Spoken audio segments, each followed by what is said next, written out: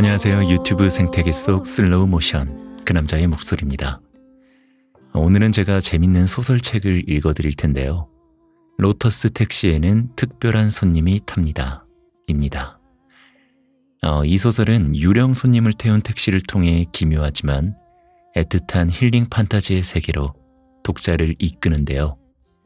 주인의 복수를 위해 택시에 탄 고양이 손님, 남겨진 부모의 마음을 달래고 싶은 어린이 손님, 남편의 내연녀를 마중하러 가는 부부 손님 등 이런 기상천외한 사연을 싣고 택시는 달리는데요. 과연 목적지까지 무사히 도착할 수 있을까요? 음, 읽으면서도 기묘하기도 하고 기발한 구성으로 몰입시키고 사람들에게 따스한 연과 교훈을 주는 힐링 판타지 소설입니다. 어, 저는 주인의 복수를 위해 택시에 탄 고양이 손님 사나다 편을 소개해 드릴게요. 네, 오늘 하루 힘들었던 일, 피곤했던 일, 나를 괴롭게 만들었던 일은 잠시 내려놓고 가만히 두 눈을 감고 잠을 청해 보시죠. 그럼에도 불구하고 오늘 밤도 잘 자요.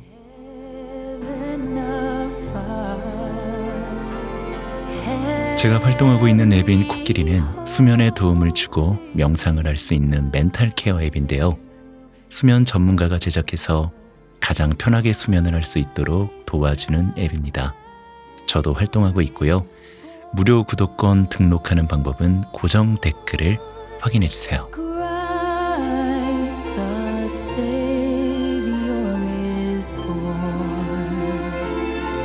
로터스 택시에는 특별한 손님이 탑니다. 가토 겐 지음, 양지윤 옮김, 필름 출판사. 제 1장 산하다. 오늘도 저희 로터스 교통을 이용해 주셔서 감사합니다.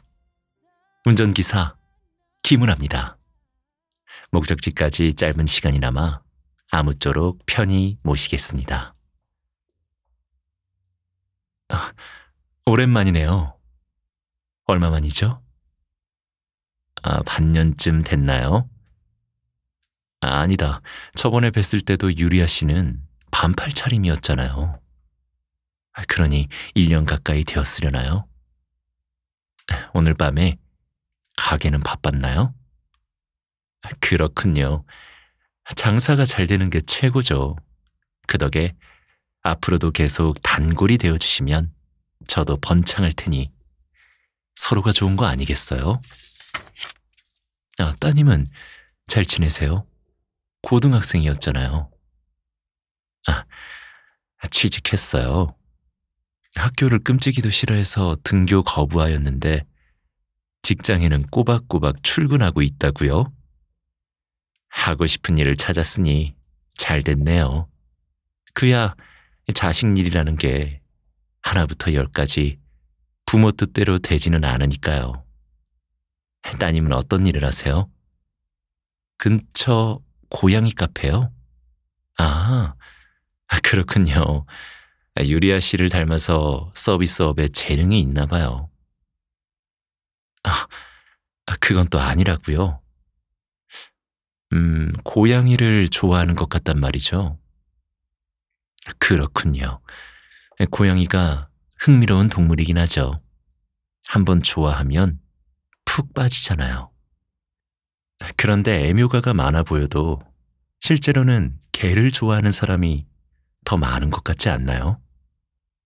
충견 하치코라고 품종이 아키타견이었던가요?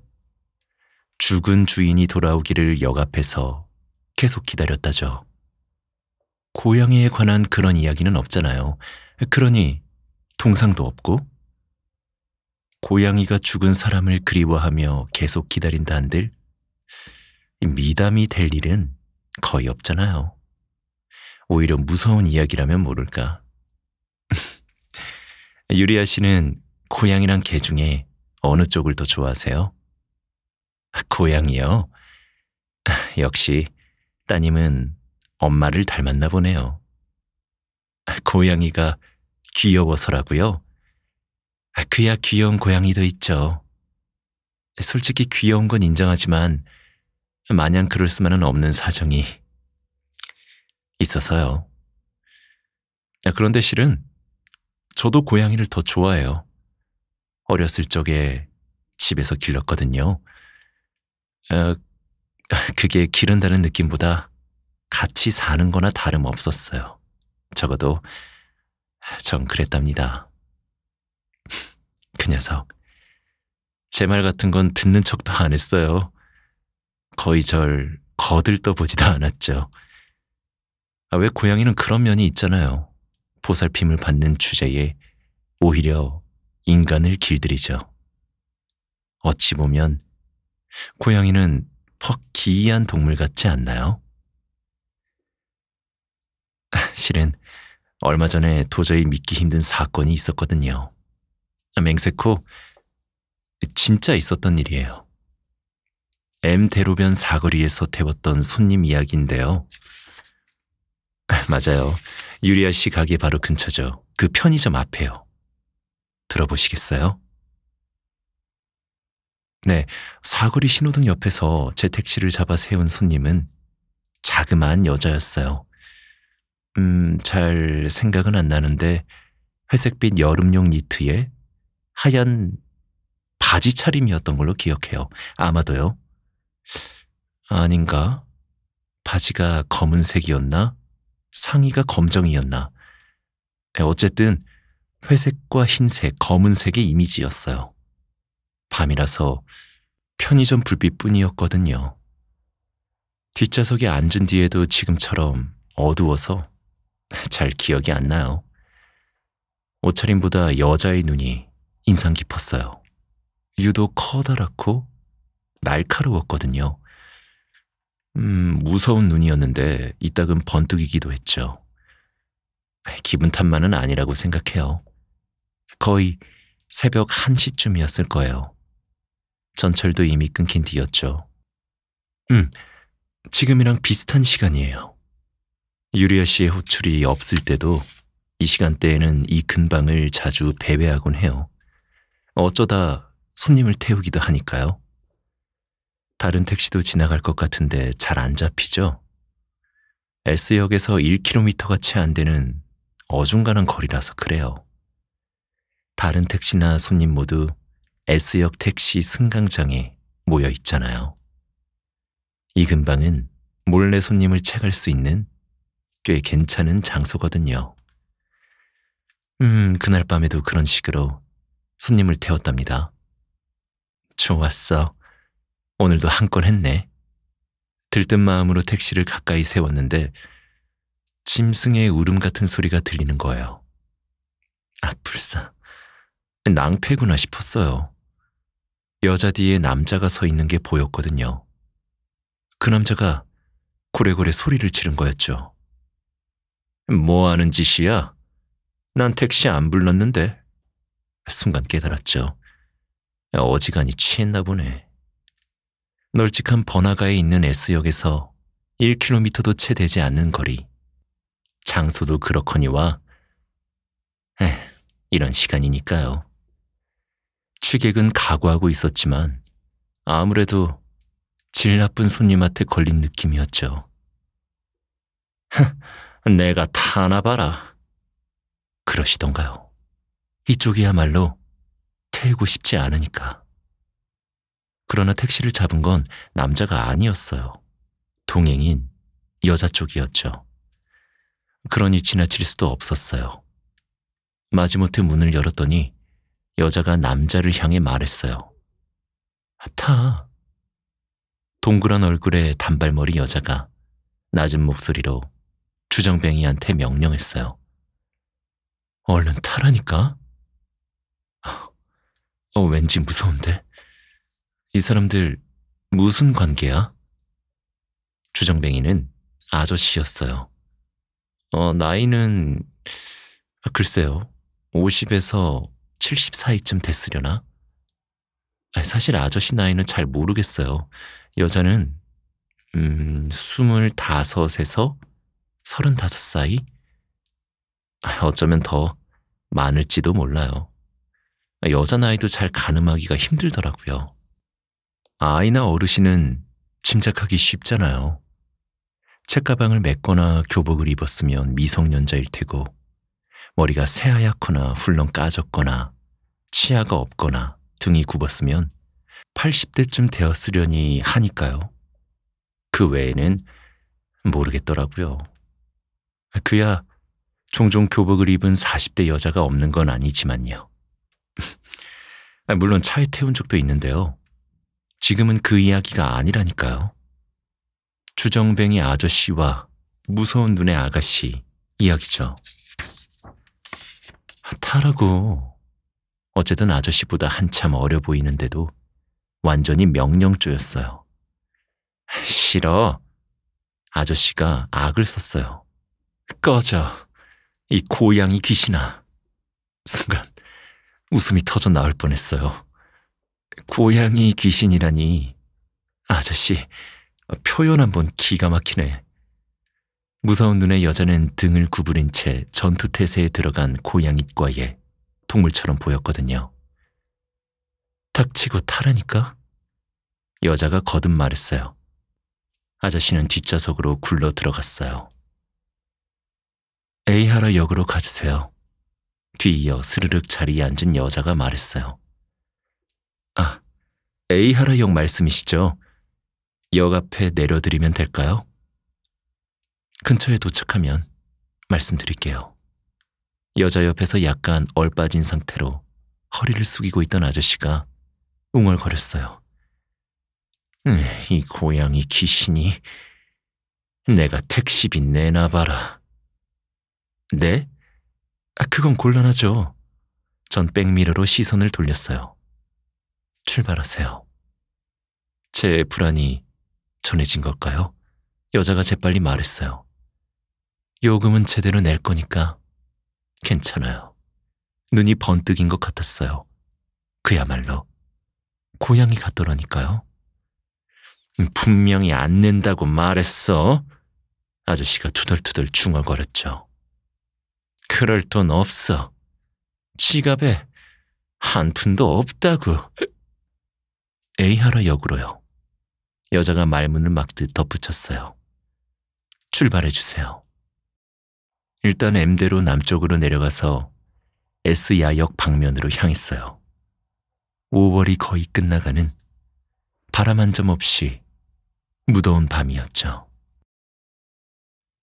S야역 앞을 막 지나갔을 때 백미러 너머로 살펴보니 아저씨가 머리를 숙이고 있었어요.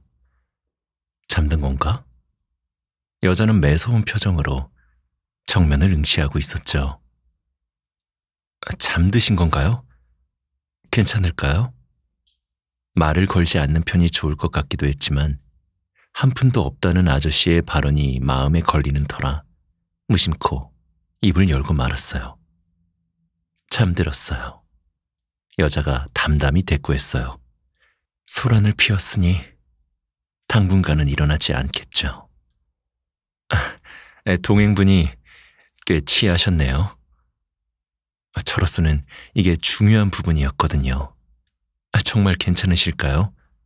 도착한 뒤에 요금을 못 내겠다고 아, 다시 억지를 부리시는 건 아닐지 걱정되세요? 살벌한 저음의 목소리. 아무래도요. 큰 소리로 화를 내신 데다 상당히 언짢아 보이셔서요. 솔직히 말해서 동행분 때문에 차에 태우길 망설였을 정도랍니다. 택시비는 제대로 낼 테니 안심하세요. 돈이 없다고 말씀하셔서요. 저는 다시 의심했어요. 지갑에 한 푼도 없으시다고. 거짓말이에요.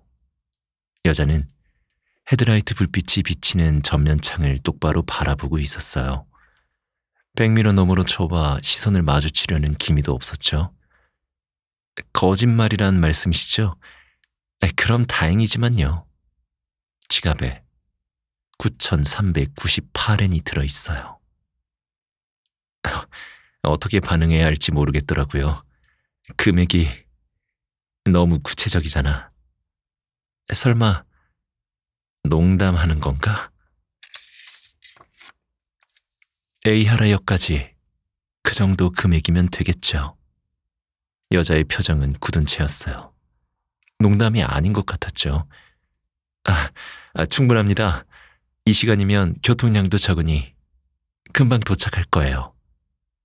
전철 선로를 따라 쥐대로 서쪽 길에서 동쪽 길을 향해 자동차는 싱싱 달려갔어요. 주정뱅이는 질색이에요. 여자는 쓰디 쓴 것을 뱉어내듯이 말했어요. 아, 아, 그쵸. 손님께서는 멀쩡하셔서 다행입니다. 어쨌든 9398엔이 있으면 문제될 건 없으니까요. 안도한 나머지 말이 술술 나오더라고요. 이 일을 하면서 가장 곤란한 건 술 취한 손님일지도 몰라요. 말이 안 통하기도 하고 폭력을 쓰기도 하거든요. 다행히 전 아직 경험한 적이 없지만요. 차 안에 구토, 아니, 아니, 개원에, 아, 그러니까 속을 비워내시면 그날 하루 영업은 망치고 말거든요. 청소도 해야 하는데 냄새까지 배어서 운행이 힘들답니다. 토악질할 정도로 술을 마시는 건 분별 있는 어른이 할 짓은 아니죠. 여자는 심각한 어조로 말했어요. 저도 곧잘 토하긴 하는데 이 남자가 그러는 건 용서 못해요. 네? 저도 모르게 대물었어요. 어, 손님, 자주 토하세요? 급하게 밥을 잔뜩 먹으면요. 자주 그래요. 여자는 태연히 말했어요. 토하는 건 을에 있는 일이니까. 그런가?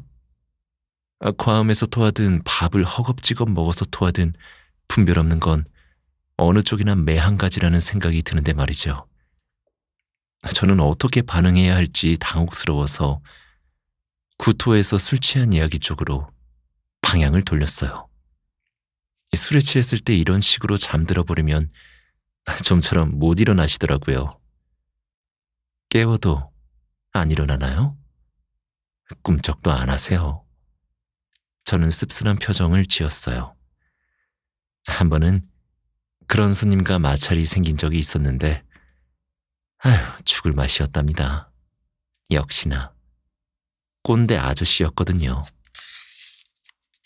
무심코 말이 헛나와 버렸죠. 아, 아, 물론 동행분이 그렇다는 뜻은 아닙니다. 제대로 보셨네요. 여자는 동요하지 않았어요. 꼰대. 맞아요. 이 해충 같은 인간은. 몹시 경멸하는 듯한 말투. 대체 무슨 관계인 걸까요? 술집 종업원과 손님? 아, 그렇게는 보이지 않았는데 말이죠. 아, 오늘 밤엔 손님이 계셔서 안심입니다. 저는 다시 이야기의 방향을 바꿨어요. 살다 보면 술이라도 마시고 싶어지는 때가 있으니까요. 전 없는데요. 술 같은 건 마시고 나면 온몸에서 냄새만 날 뿐이에요. 인정사정 없는 말투. 아, 아, 손님은 술을 안 드세요? 안 마셔요. 아, 저도 그렇답니다. 체질적으로 안 맞아서요. 저도요. 여자는 차갑게 말했어요. 땀이랑 한숨, 배설물에 알코올이 섞여서 술 냄새가 진동하죠. 반경 1미터 가까이는 다가가고 싶지 않은 냄새예요. 정말이지 주정뱅이가 안쓰러워질 지경이었다니까요. 그렇게 말할 것까지야 술 같은 거 없이도 즐겁게 살 수 있어요. 아, 아, 아, 맞는 말씀이세요. 저도 술은 못하지만 삶이 따분하진 않거든요. 볕을 쬐거나 낮잠을 잘 수 있다면 즐거움은 무한대예요. 그런가요? 맞장구를 치는데 묘한 스타카토를 넣고 말았어요. 일광욕과 낮잠. 그게 즐겁다고? 손님, 아직 젊으신데도 취미가 소박하시네요. 어쩌면 즐거울지도 모르겠네요. 일광욕이라. 태닝을 하러 피부 미용실에 다닌다는 뜻일까요? 그건 아닌 것 같은데. 이 손님, 아무리 봐도 태닝한 것처럼 보이지 않았거든요. 아, 하지만 낮잠은 즐거울 것 같아요. 기분도 좋고. 그렇다고 휴일에 까딱 잠을 많이 자버리면 오히려 후회한달까요? 헛되이 시간을 보내버렸다는 생각에 한없이 즐겁지만은 않을 것 같아요. 젊지는 않아요. 상당히 나이를 먹었어요. 그렇게 안 보이는데요. 젊어 보이세요. 알아요. 소녀처럼 어려 보이겠죠. 여자는 겸손을 떨지 않았어요. 더군다나 소녀처럼이라니. 그렇게까지는 말하지 않았는데 꽤 능청스러웠어요. 하지만 젊지 않아요. 중년인걸요. 아줌마예요. 곧 할머니가 되죠. 늙었어요. 담담하면서도 쉴 틈 없이 이어지는 자학. 소녀 같은 젊음을 유지하는 비결은 뭔가요? 도무지 갈피가 잡히지 않아서 제 영업상의 대화도 약간 방향을 잃은 느낌이었어요. 젊음과 관계가 있는지 어떤지는 모르겠지만 정기적으로 한바탕 뛰어요. 한바탕 뛰신다고요? 아, 그렇군. 스포츠를 말하는 건가? 아, 한바탕 뛰신단 말이죠. 괜찮은 방법이네요. 가라데나 킥복싱 도장이라도 다니시나 봐요. 이손님은 격투기 쪽일지도 몰라. 느낌이 오더라고요. 안 그래도 의외로 힘이 센 분이라고 생각했어요. 아저씨를 택시에 태울 때였는데요. 상당히 힘껏 밀어서 넘어뜨린 느낌이랄까? 키가 크진 않아도 아저씨가 다부지고 뚱뚱한 체격이라 무거워 보였거든요. 여자 쪽은 가냘프고 연약했고요. 그런데 다짜고짜 순식간에 아저씨를 넘어뜨리더니 뒷좌석에 억지로 밀어넣는 거예요. 언뜻 보이는 모습과는 다르게 격투기를 즐기시나 싶어서요. 격투기요? 그런 건 안 해요. 여자는 고개를 저었어요. 충동적으로 집안을 뛰어다녀요. 그뿐이에요. 농담인가 싶었죠. 하지만 여자의 표정은 그야말로 진지했어요. 재밌거든요. 좋은 운동이죠. 약간, 아니, 상당히 위험한 사람 같은데. 아, 재미있을지도 모르겠네요. 제대로 맞장구 칠 맛이 안 나더라고요. 아, 그럴 수밖에요. 뭐가 재밌다는 건지 전혀 모르겠는데. 그런데요. 그런 식으로 집안을 한바탕 뛰어다니면 난장판이 되지 않나요? 맞아요. 책장 위에서는 책이 떨어지고 사이드 테이블 위의 꽃병은 쓰러지죠. 마루에 놓인 각휴지는 제 발차기로 찌그러지고요. 자주 있는 일이에요. 그게 재밌으시다고요?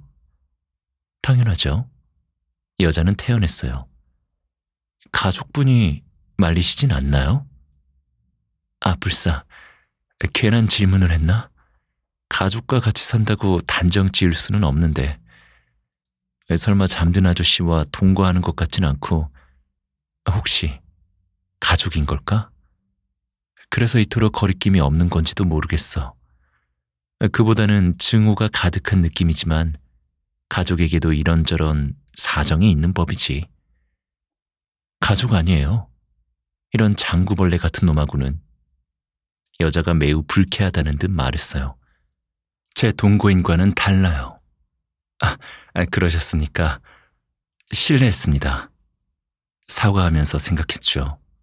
내가 지금 속마음을 무심코 내뱉은 건가? 아, 망했다. 제 가족은 사나다예요. 여자의 목소리가 살짝 누그러진 느낌이었어요. 제가 한바탕 뛰고 나면 사나다는 화를 내요. 그러시겠죠. 사나다. 이름이 아니라 성씨네. 성씨로 부르는 걸 보니 가족은 아니라는 소린데 애인이나 친구인 건가? 이성일까? 동성일까? 물어봐도 되려나? 아니야. 쓸데없는 질문은 자제하고 지금은 이야기에 귀를 기울여주는 편이 낫겠어. 아, 사나다는 늘 툴툴대요. 왜 이런 짓을 하는 거냐고. 에, 그럼요. 아무래도 그러시겠죠. 하지만 용서해줘요. 여자가 살짝 웃고 있네? 아, 어, 좋은 분이네요. 좋은 녀석이죠. 하긴, 함께 사시는 사나다 씨가 용서해 주신다면 문제 될 건 없겠네요. 책을 떨어뜨리고 꽃병을 쓰러뜨리고 각 휴지를 찌부러뜨리는 정도라면 괜찮죠. 사나다 씨한테만 그러지 않는다면야. 아, 기운이 남아돌아서 사나다를 들이받을 때는 있어요. 전 적이 있었네. 가정폭력이잖아. 일부러 그러는 건 아니니까요.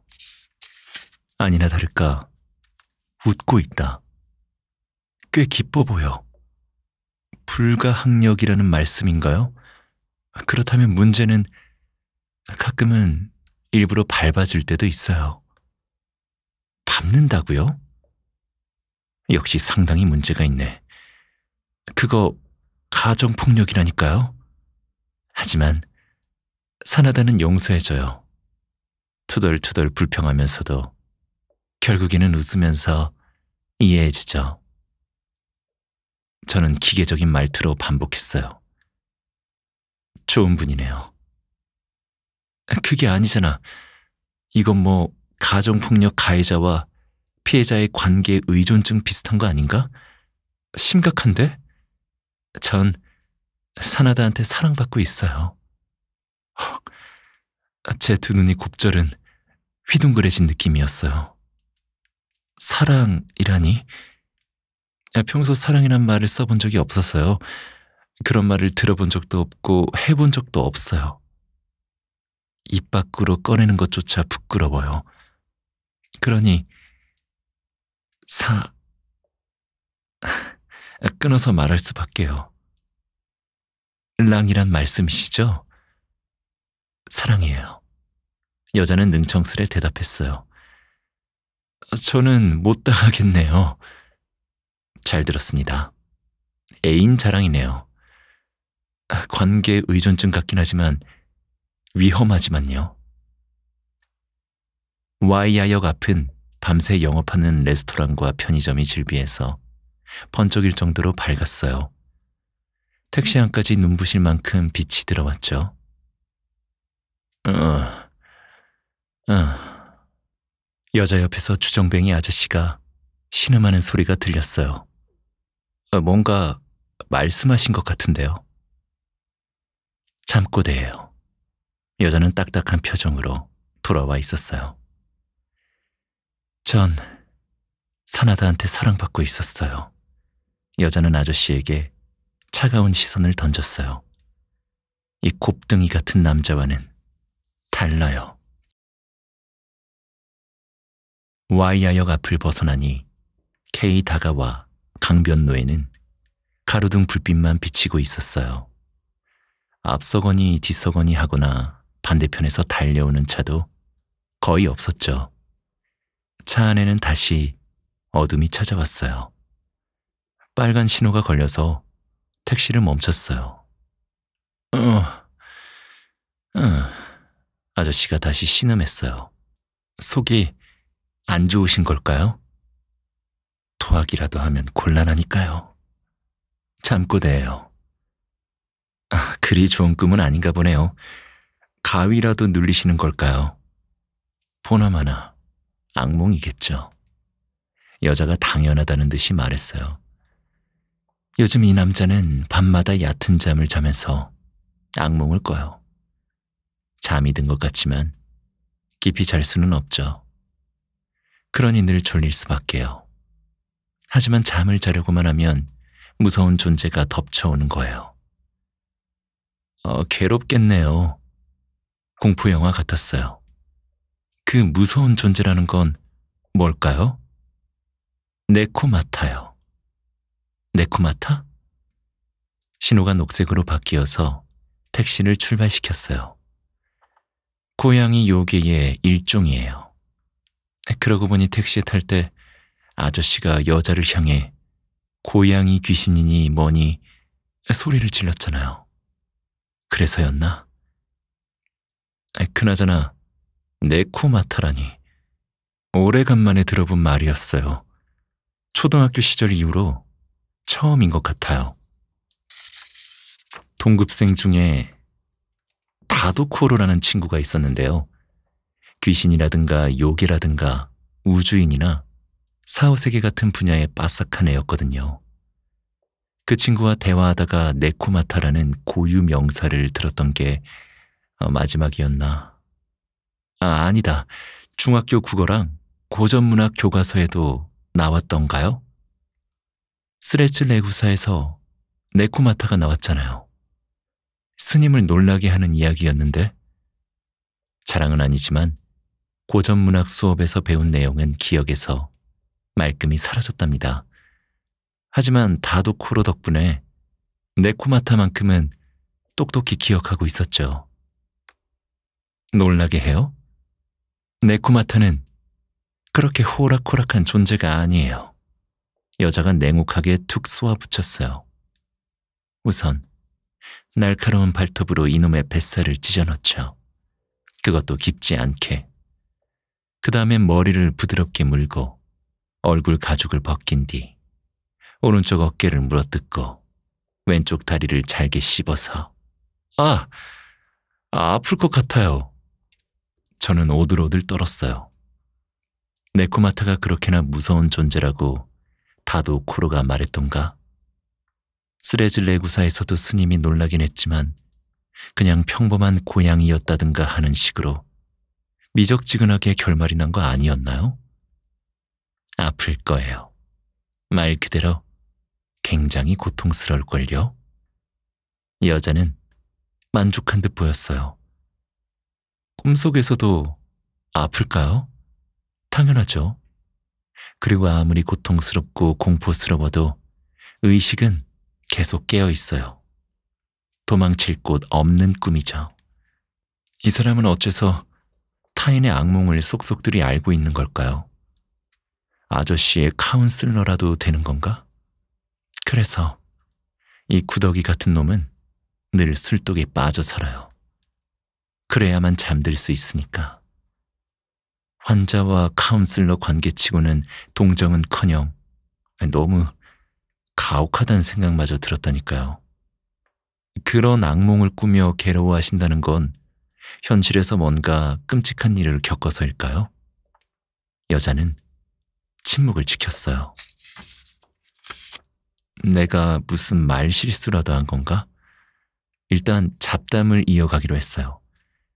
전 술을 못 마시니까 기분 나쁜 일이 생기면 먹을 걸로 풀어요. 화술 대신 폭식인 셈이죠. 잔뜩 고칼로리 식사를 한 뒤 일찌감치 자버리는 거예요.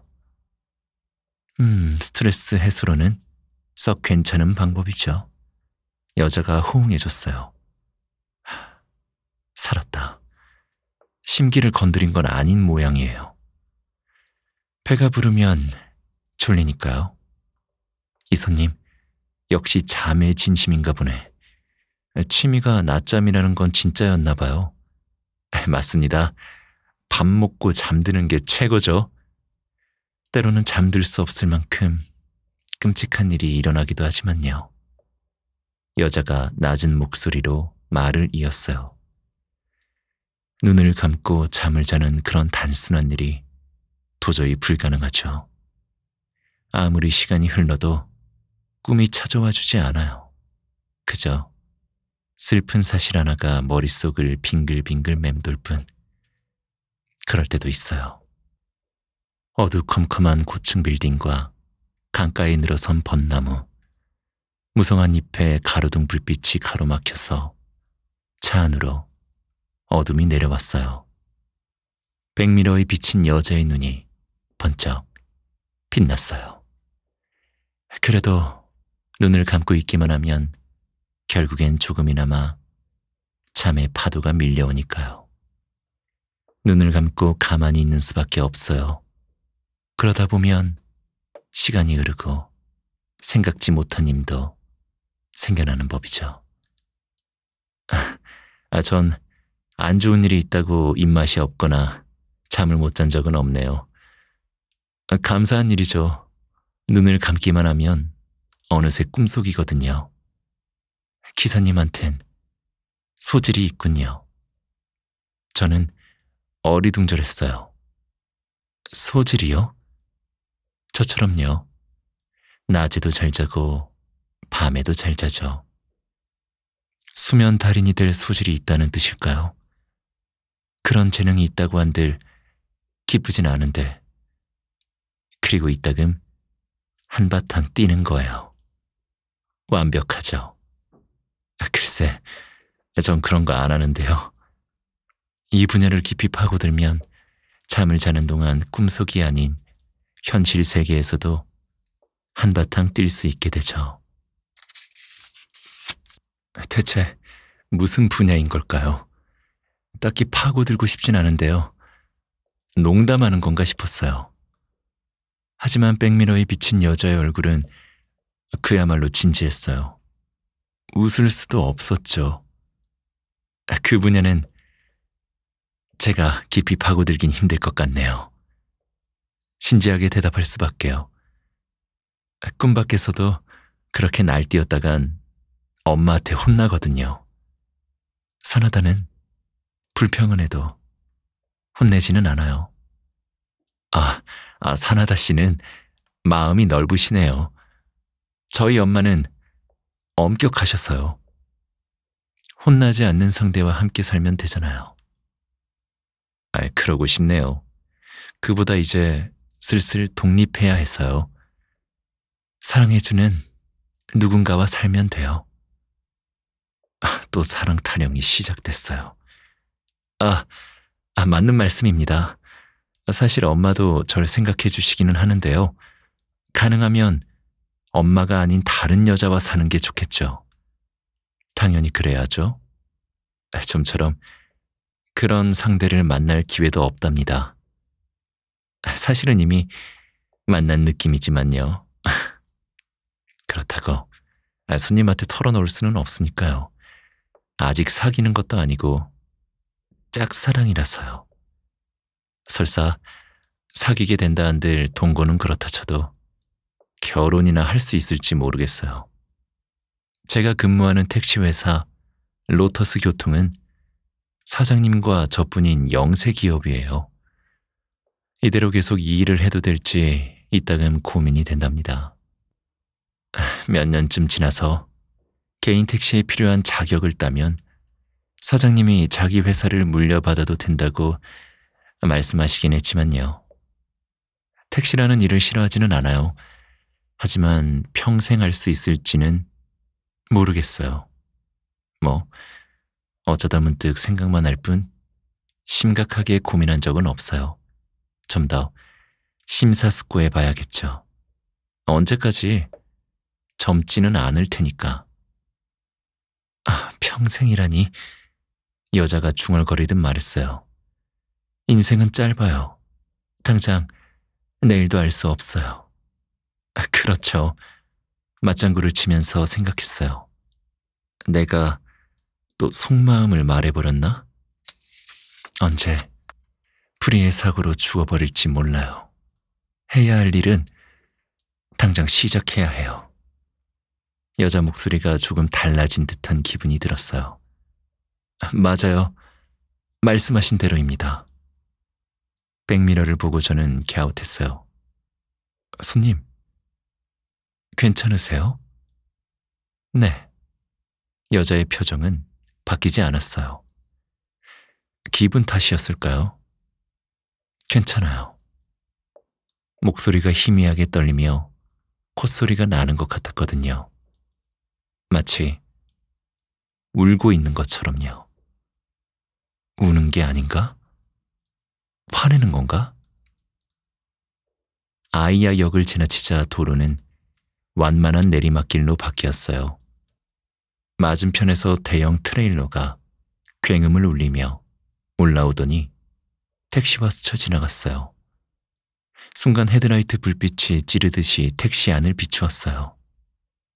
아, 아, 자고 있던 아저씨가 다시 뭔가를 웅얼댔어요. 여기에 여자가 중얼거렸어요. 네? 자동차는 요괴와 닮았어요. 눈을 번쩍이며 캄캄한 밤을 거칠게 달려와 인간을 죽이죠. 그럴지도 모르겠네요. 눈이 번쩍이는 건 여자도 마찬가지였지만요. 인간뿐이 아니에요. 고양이도 죽이죠. 참혹해요. 아, 종종 발견한답니다. 이 근처 도로에서 차에 치인 오리도 본 적이 있어요.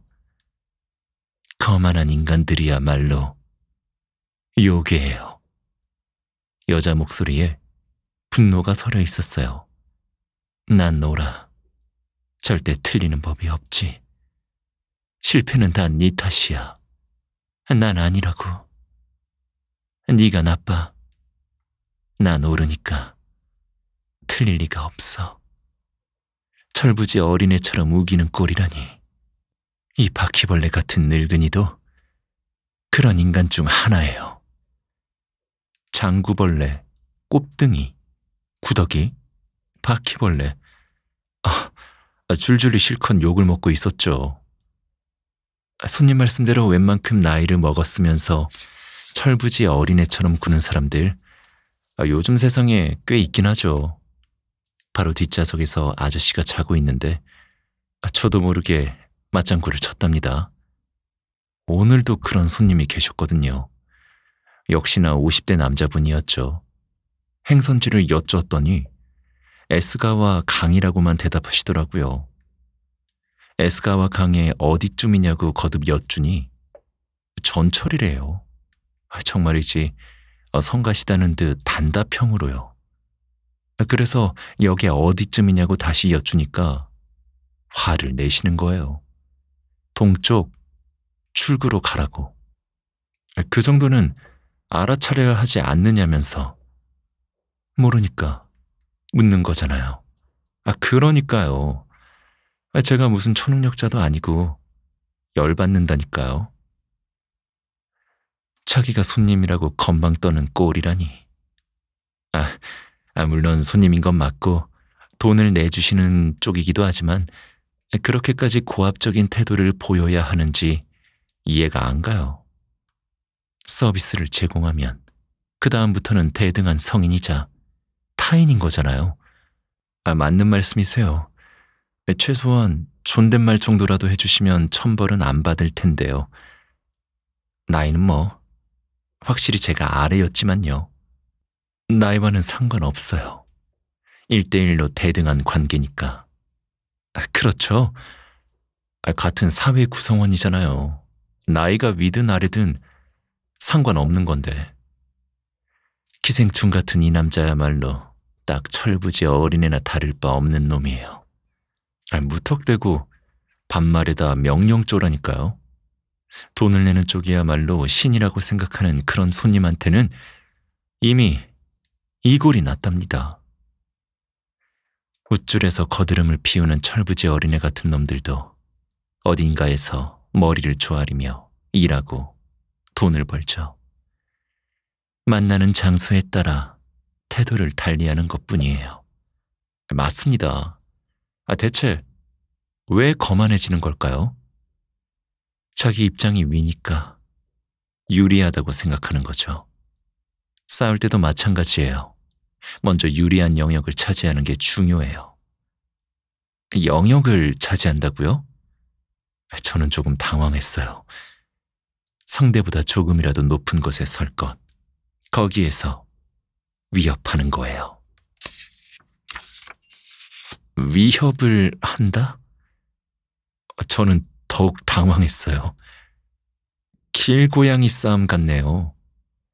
고양이 싸움도 철부지 어린애 같은 놈들의 허세도 매한가지예요.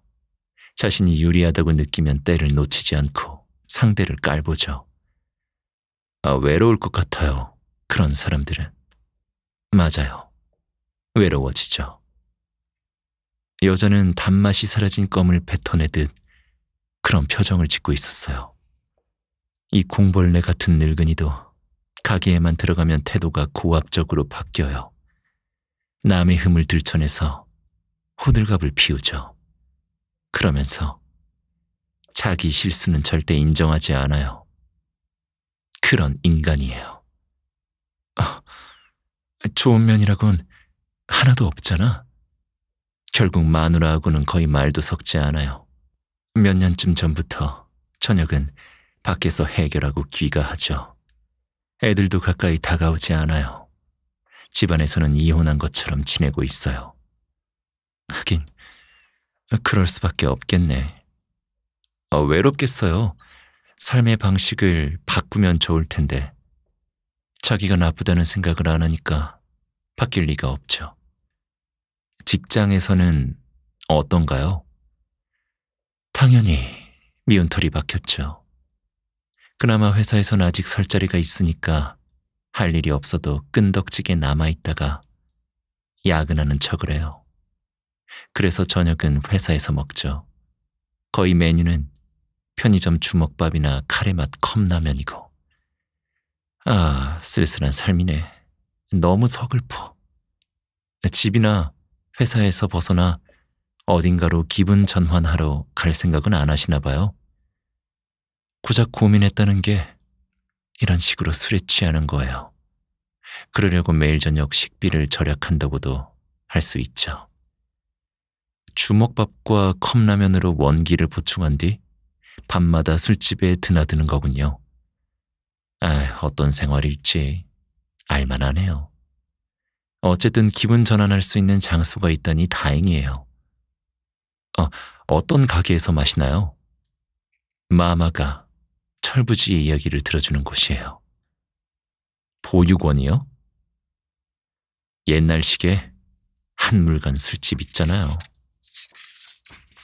아, 안성맞춤이네요. 그곳에서 조금이나마 위로받으시는, 아니요. 여자는 싹둑 말을 잘랐어요. 위로를 받으시는 게 아닌가요? 전혀요. 그 가게에서도 천덕꾸러기 신세라서 이제껏 몇 번이나 출입 금지 명령을 당했어요. 오늘 밤에도 두 번 다시 오지 말라는 말을 듣고 쫓겨난 참이에요. 아, 그러셨군요. 그래서 저 손님의 심기가 더욱 불편하셨나 봐요. 네? 아, 이야기 속 아저씨에 대해 뭔가 짚히는 거라도 있으세요, 유리아 씨? 유리아 씨의 가게가 있는 곳은 엠데로에서 구석으로 들어간 자그마한 외길 골목이니까 아저씨와 여자 손님을 태운 사거리 편의점 바로 뒤쪽이네요. 떡 벌어진 체격에 키는 그리 크지 않고 흰머리가 섞였는데 머리숱이 살짝 적은 편이고 괄괄한 목소리에 술버릇이 나빠 보이는 쉰 이상, 일흔 이하쯤 되는 아저씨였어요. 아, 그러셨군요. 아, 유리아 씨가 일하는 가게에 단골이셨다니. 에비사와 씨라고요? 아, 글쎄요, 이름까지는 여쭤보지 않았어요. 여자도 그 이름으로 아저씨를 부른 적은 단 한 번도 없었으니까요. 계속 장구벌레니 꼽등이니 구덕이니 바퀴벌레니 기생충이니 공벌레 따위로 불렀거든요. 직접 말을 걸 때도 이봐, 라든가 너라고 했어요. 무슨 기분인지 아시겠다고요? 아, 유리아 씨한테도 미움받고 계셨네요. 에비사와 씨. 그렇겠죠. 가게 측으로부터 몇 번이나 출입금지 명령을 당했다고 하셨으니. 저런, 가게 여직원한테 거친 말을 내뱉거나 별거 아닌 일로 깐죽깐죽 불평이나 해댔군요. 그런데도 술에 취하면 기분 나쁘게 만지면서 작업을 거나 싶더니 계산할 때만 되면 어김없이 비싸다는 둥, 사기라는 둥, 돈을 못 내겠다는 둥, 투덜거리곤 했단 말이죠. 아, 장점이라곤 전혀 없는 분이네요. 더는 얼씬도 하지 말라는 말이 나올만 해요. 에이, 못 말리는 아저씨네. 두 번 다시 오지 말라고 수없이 말해도 아무런 소용이 없었군요. 더는 패를 끼치지 않겠다고 유난을 떠는 터라 어쩔 수 없이 술을 내왔다고요. 아, 하지만 점잖게 술을 마시는 건 달랑 두 시간 정도라니. 거기에서 1분만 지나면 어김없이 똑같은 짓을 되풀이한다는 거네요. 아, 회사가 휴일인 토요일 밤까지 일부러 찾아와요. 집에서 냉대 받으니 그러시는 거겠죠. 최근에도 오셨어요? 아, 그랬군요. 영업을 시작하자마자요. 아, 문 열기만을 기다리셨나 보네요. 겨울 이후 몇 개월 동안 얼굴을 비추지 않길래 속이 시원했는데 다시 나타났단 말이죠. 가게 사람들한테 그런 대접을 받는다면 저라도 기가 죽을 것 같아요.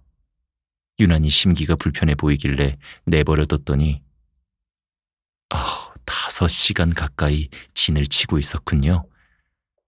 골치 아프셨겠네요. 제대로 상대해주지 않으면 고양이 귀신이니 요괴니 그런 소리를 짓거려댔고요. 그래서 마담 언니가 고양이 귀신이라니 실례잖아. 아무리 우리 애들 평균 연령이 좀 높기로서니 여긴 귀신의 집이 아니라고. 불만이면 다른 가게로 가던가. 다신 오지 마. 라고 화를 내며 에이비사와 씨를 내쫓았군요. 아유, 그런 일이 있었다니. 제 택시에 타신 게 그날 밤이었을까요? 겨울 이후로 최근까지 한동안 에비사와 씨는 가게에 안 오신 거죠? 아무래도 맞는 것 같네요. 아마 가게에서 나오자마자 그 여자한테 붙잡혔던 모양이에요. 고양이 귀신이라는 말은 가게의 마담 언니나 유리아 씨를 빗대어 욕한 건 아닐 거예요. 아까 이야기해드린 그 꿈을 말한 것 같은데요. 아저씨도 혼자 시달려온 모양인데 그래도 어쩔 도리가 없네요. 행실이 나빴으니까요. 가정에서도 직장에서도 기분 전환하러 가서도 마음 붙일 곳이 없었겠네요. 애처로운 인생이에요. 나중에 그런 아저씨만은 되고 싶지 않아요. 그날 밤에도 비슷한 이야기를 했답니다. 집에서도 천덕꾸러기 신세라니 꽤 힘드시겠어요. 저희 집은 말이죠. 애당초 아버지가 집에 거의 없었어요. 귀가도 늦었으니 저녁밥을 함께 먹는 일은 많아야 일주일에 한두 번 정도였죠. 그럴 땐 거의 대화도 없었고요. 아버지가 집에 있으면 뭔가 거북했다고나 할까요? 물론 아버지와 엄마 사이가 나빴던 건 아니에요. 아마도요. 일요일에는 가끔 가족끼리 외출도 했어요. 형도 있었으니까 네 식구였죠.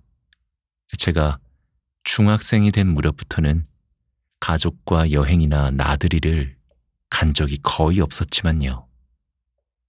언덕을 내려와서 아이바시 역 앞을 통과했어요. 셔터가 내려간 쇼핑몰 건물에는 어렴풋이 야간 조명이 켜져 있고 한밤중인데도 거리에는 드문드문 사람 그림자가 있었죠. 지금도 같은 집에 살지만 아버지와는 거의 대화를 안 해요. 인사나 하는 정도랄까요. 거실이나 욕실에서 스쳐 지나갈 땐 가벼운 인기척은 내죠. 인사라기보다는 웅얼거리는 소리에 가까워요. 서로 웅얼대는 거죠.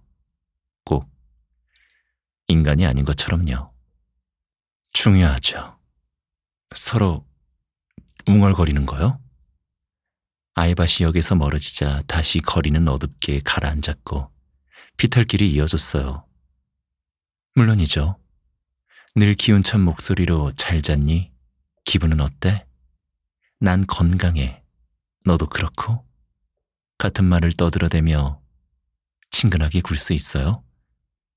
아, 그건 힘들 것 같은데요. 왼편으로 돔구장의 지붕과 전구장식으로 불을 밝힌 K 유원지에 제트코스터가 희뿌옇게 보이기 시작했어요. 아, 전 비교적 말이 많은 편인데 형은 고등학교 무렵부터는 거의 말 없이 살아왔어요. 그래서 엄마는 재미가 없었나 봐요. 여자애가 있었으면 좋았을 거라는 말을 입에 달고 사세요. 여자끼리는 사이좋게 외출하거나 수다를 떨 수도 있잖아요. 그러면 잘 잤니? 오늘 뭐 할까? 같은 기운 넘치는 대화도 절로 나오겠죠. 아버지나 저나 형한테는 불가능한 일이에요. 어쨌든 인기척 정도가 최선이니까요. 선하다와 난 같은 여자끼리여도 아침 인사로 기운을 얻거나 하진 않아요. 아침 대바람부터 잘 잤어. 하늘이 무척 맑네. 우리 둘 다 컨디션 최고야. 그럼 밖으로 나갈까? 같은 경박한 인사가 가능하기나 해요? 오라, 사나다 씨가 여자였군. 개와 다를 바 없잖아요. 개처럼 굴 수는 없어요. 여자는 말을 쏟아냈어요. 개를 싫어하는 걸까요? 목청으로 그르렁 소리를 내는 것만으로도 충분해요. 힐끗 시선을 교환하는 정도가 딱 적당하죠. 아, 조금 야박한 느낌도 드는데요. 같은 집에 산다면 그 정도의 거리감이 좋아요. 그런가요? 아, 맞는 말씀일지도 모르겠네요. 뭔가 모자란 느낌이 든다면 이만한 코끝을 상대한테 대고 문지르면 돼요. 제 귀를 의심했어요. 이마랑 코끝을요? 네. 뭐가 이상하냐는 식의 반응이었어요. 아버지한테 그런 짓을 했다간 눈이 뒤집혀서 뒷걸음질 치실 것 같은데요. 형한테는 얻어맞을지도 몰라요. 엄마는 비명을 지르며 구급차를 부를 것 같고요. 선하다는 기뻐하는데요. 어, 올빼미처럼 웅얼거릴 수밖에 없었어요. 내가 하는 일이라면 산하다는 뭐든 기뻐해요. 어, 아, 그렇군요. 또 애인 자랑이네. 이건 우정이 아니잖아. 여자끼리 사귀기라도 하는 건가? 사랑받고 있으니까요. 여자는 깊이 고개를 끄덕였어요. 아, 못 당하겠네. 우리 두 사람의 만큼의 애정은 없더라도 서로 그르렁 소리를 나누고 있다면 그걸로 충분해요. 이 징그러운 놈의 집에서는 그런 소리조차 없거든요. 가족 간에 인사도 안 하는 건가요? 서로 무시해버려요. 아, 그렇군요. 아, 그건 좀 힘들겠는데요. 술을 마시고 싶어질 만도 하겠어요. 그래서 그날 토요일 밤에도 회사 근처 가게로 향한 거예요. 에스바시 역을 지나 오르막길이었어요. 찰칵 미터기 올라가는 소리가 들렸죠. 목적지인 에이하라 역까지는 이제 얼마 남지 않았어요. 출근하는 것처럼 일부러 전철을 타고 가게까지 가셨다고요? 아, 전철을 탔다면 아무 문제도 없었겠죠. 번쩍 여자의 눈이 백미러 속에서 번뜩이는 것 같았어요. 이 지네 같은 놈은 차를 끌고 갔어요. 운전해서 술 마시러 가다니 위험하잖아요. 술을 마시는 동안 차는 어디에 세워둔 거죠? 쇼핑센터에 대형 주차장에요. 아, 그렇군요. 어디에 주차했는지 바로 알겠더라고요. 아, 그 M대로변에 있는 D마트 말씀이시죠? 100엔짜리 초콜릿 하나만 사도 몇 시간 동안 마음껏 주차할 수 있게 해주잖아요. 제법 너그러운 방침을 가진 체인점이죠. 그럼 귀갓길에는 어쩌신 거예요? 자동차는 주차장에 세워둔 채 오늘처럼 택시를 이용하셨나요? 아니요. 자기 차로 귀가했어요. 음주운전이잖아요. 맞아요. 위험한 행동인데요? 그런 사람 있잖아요. 음주운전에 아무런 죄책감도 느끼지 못하는 사람들. 옛날에는 그런 의식이 퍽 느슨했던 모양이에요. 저희 사장님도 소시적에는 술을 마신 채 운전한 적이 있다고 하셨거든요. 아, 아, 물론 지금은 안 그러세요. 택시 운전사가 됐으니 어림도 없죠. 게다가 사장님은 개인 택시 회사를 운영하시니까요. 무사고 모범 운전을 철칙으로 하시거든요. 미적지근한 면도 있는 아저씨지만 그 점에 한해서는 엄격하세요. 제가 술도 안 마시고 난폭 운전도 안 해서 마음에 드셨다나 봐요. 다른 부분은 어떤지 모르겠지만요. 아, 음주운전은 안 돼요. 법률 위반이에요. 사고의 원인이 되잖아요. 맞아요. 하지만 이치렁이 같은 남자는 그렇게 생각하지 않았어요. 지금까지도 음주운전을 했으니까요. 몇 번이나 그랬어요. 하지만 한 번도 걸리지 않았죠. 사고도 일으키지 않았고요. 그러니 괜찮다고 굳게 믿어버린 거죠. 괴상한 경험을 성공이라고 믿어버린 거네요. 실패와는 종이 한 장 차이죠. 어쩌다 잘 넘겼을 뿐인데 성공이라고 철석같이 믿어버렸으니 아, 커다란 착각이네요. 언제인가 유리아 씨도 비슷한 이야기를 해주셨잖아요. 그래서 당시에 저는 그 이야기를 들려드렸답니다. 어, 손님 이야기인데요. 자제분이 있는데 그 아이가 이른바 등교 거부하래요. 학교 같은 곳은 안 가도 돼요. 여자는 확신에 차 있었어요. 아, 아, 그렇죠. 무심코 동의하는 바람에 이야기가 끝날 뻔했지만, 아, 뭐예요? 아, 잠깐, 그게 아니라요. 좋은 게 좋은 거라지만 부모로서는 걱정되지 않겠어요? 아, 그래서 고민하고 있었더니 주변에 아이 가진 동료가 이러니 저러니 충고를 해준 거예요. 어릴 적 교육은 이렇게 해야 한다는 식으로요. 친구들과 교제하는 법을 좀 더 잘 가르쳐야 한다고 그랬대요. 부모가 살아가는 방식 자체가 아이에게 악영향을 끼친 게 아니냐고 하면서요. 하지만 어릴 적에 착실히 교육시키고 친구와의 교제에도 마음을 쓰며 아무리 모범적인 모습을 부모가 보인다 해도 학교에 가기 싫어하는 아이는 있는 법이잖아요.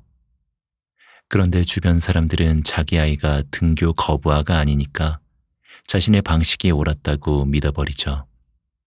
자기 아이는 이런데 저 집 아이는 다르니까 이상하다는 식으로 단정 짓는 사람도 많나 봐요. 상대편에 서서 생각해보면 좋을 텐데 말이죠. 저 집은 이런데 우리 집은 이래.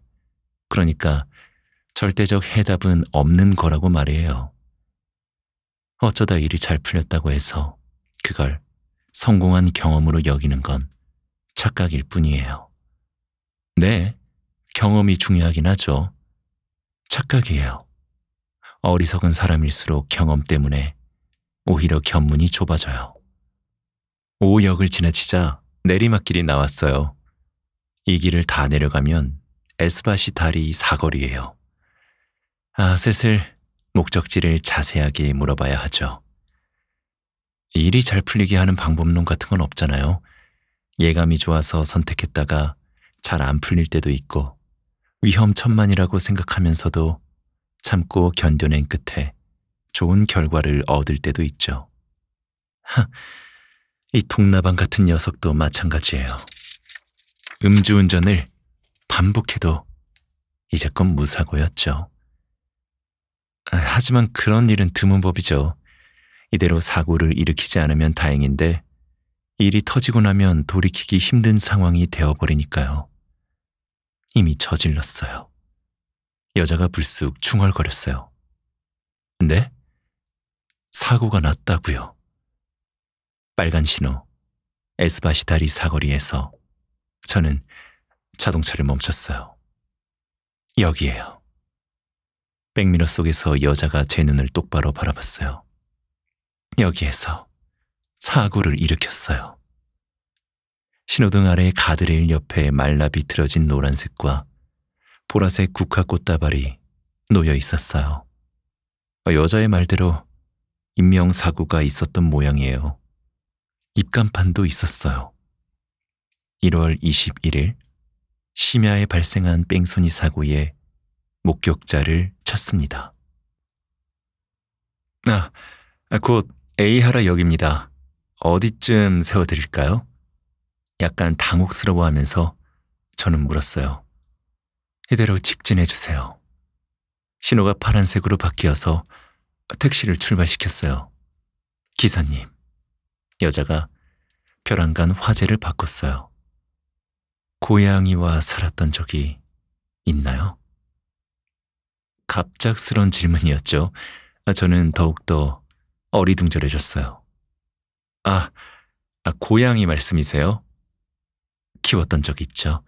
아, 옛날 일이에요. 10년 전쯤이었죠.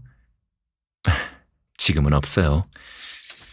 아, 죽는 모습을 지켜보는 게 괴로워서 엄마는 두 번 다시 기르고 싶지 않다고 말씀하시곤 해요. 그 심정은 이해해요. 전혀 절 따르지는 않았어요. 이름을 불러도 가까이 다가오지 않았죠. 고양이가 자고 있을 때 이따금 슬쩍 다가가 등을 쓰다듬곤 했어요. 그러면 곧장 벌떡 일어나 도망가 버렸지만 가만히 있어주는 경우도 있었죠. 부드럽고 따뜻하고 폭신폭신한 느낌이 좋았어요. 원, 어느 쪽이 기르는 입장인지. 음, 상당히 머리가 좋은 고양이였어요. 싫어하는 손님의 신발에 소변을 갈겨놓기도 했죠. 엄마는 사람의 마음을 읽어내는 녀석이었다고 믿는 눈치예요. 말도 알아듣고 가족의 기분도 읽어내는 녀석이었다고 말이죠. 지금도 자주 말씀하시곤 하세요. 전 이 나이가 되도록 노상 엄마한테 잔소리를 듣고 있는데요. 넌 몇 번을 말해도 통 들어먹질 않는구나. 너보다 고양이가 더 말이 잘 통하겠다. 라면서요. 무뚝뚝했지만 가족밖에 모르는 고양이였대요. 음, 정말 그랬던 걸까요? 그럴지도 모르겠네요. 무슨 일에든 시큰둥한 채 자유로이 살아가는 것처럼 보이면서도 어느새 이쪽을 빤히 바라보고 있기도 했어요. 등을 돌린 채 자고 있어도 귀만큼은 이쪽을 향해 있거나 꼬리를 파닥파닥 움직이기도 했죠. 가족의 대화를 조용히 듣고 있었던 걸까요? 제가 중학생 무렵에 녀석이 죽었어요. 네, 울었죠. 분명 냉대 받을 때가 많았는데 어째선지 응석을 부리곤 하던 기억만 되살아났어요. 형이랑 싸워서 울고 난 뒤 의기소침해 있었더니 녀석이 무릎 위로 올라와 줬어요. 평소 같으면 불러도 무시하던 녀석이 코끝을 가까이 대며 쿡쿡 누르더라고요. 위로해줬던 거겠죠. 그 녀석 날 퍽 생각해준 게 아닐까. 그런 생각이 들자 좀처럼 눈물이 멈추지 않았어요. 고양이는 말이죠. 죽으면 순식간에 몸이 굳으며 딱딱해져요.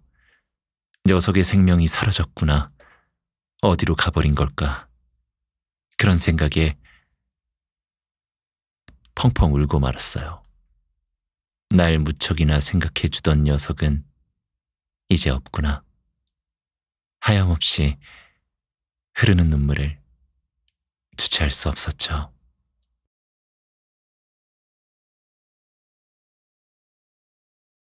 로터스 택시에는 특별한 손님이 탑니다. 가토 겐 지음, 양지윤 옮김, 필름 출판사. 제1장 산하다. 오늘도 저희 로터스 교통을 이용해 주셔서 감사합니다. 운전기사 김은합니다. 목적지까지 짧은 시간이 남아 아무쪼록 편히 모시겠습니다. 아, 오랜만이네요. 얼마만이죠? 아, 반년쯤 됐나요? 아, 아니다. 저번에 뵀을 때도 유리아 씨는 반팔 차림이었잖아요. 그러니 1년 가까이 되었으려나요? 오늘 밤에 가게는 바빴나요? 그렇군요. 장사가 잘 되는 게 최고죠. 그 덕에 앞으로도 계속 단골이 되어 주시면 저도 번창할 테니 서로가 좋은 거 아니겠어요? 아, 따님은 잘 지내세요? 고등학생이었잖아요. 아, 취직했어요. 학교를 끔찍이도 싫어해서 등교 거부하였는데 직장에는 꼬박꼬박 출근하고 있다고요? 하고 싶은 일을 찾았으니 잘 됐네요. 그야 자식 일이라는 게 하나부터 열까지 부모 뜻대로 되지는 않으니까요. 따님은 어떤 일을 하세요? 근처 고양이 카페요? 아, 그렇군요. 유리아 씨를 닮아서 서비스업에 재능이 있나 봐요. 아, 그건 또 아니라고요. 음, 고양이를 좋아하는 것 같단 말이죠. 그렇군요. 고양이가 흥미로운 동물이긴 하죠.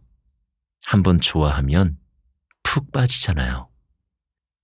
그런데 애묘가가 많아 보여도 실제로는 개를 좋아하는 사람이 더 많은 것 같지 않나요? 충견 하치코라고 품종이 아키타견이었던가요? 죽은 주인이 돌아오기를 역 앞에서 계속 기다렸다죠. 고양이에 관한 그런 이야기는 없잖아요. 그러니 동상도 없고 고양이가 죽은 사람을 그리워하며 계속 기다린다 한들 미담이 될 일은 거의 없잖아요. 오히려 무서운 이야기라면 모를까. 유리아 씨는 고양이랑 개 중에 어느 쪽을 더 좋아하세요? 고양이요? 역시 따님은 엄마를 닮았나 보네요.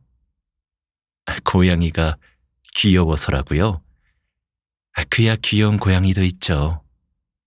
솔직히 귀여운 건 인정하지만 마냥 그럴 수만은 없는 사정이 있어서요. 그런데 실은 저도 고양이를 더 좋아해요. 어렸을 적에 집에서 길렀거든요.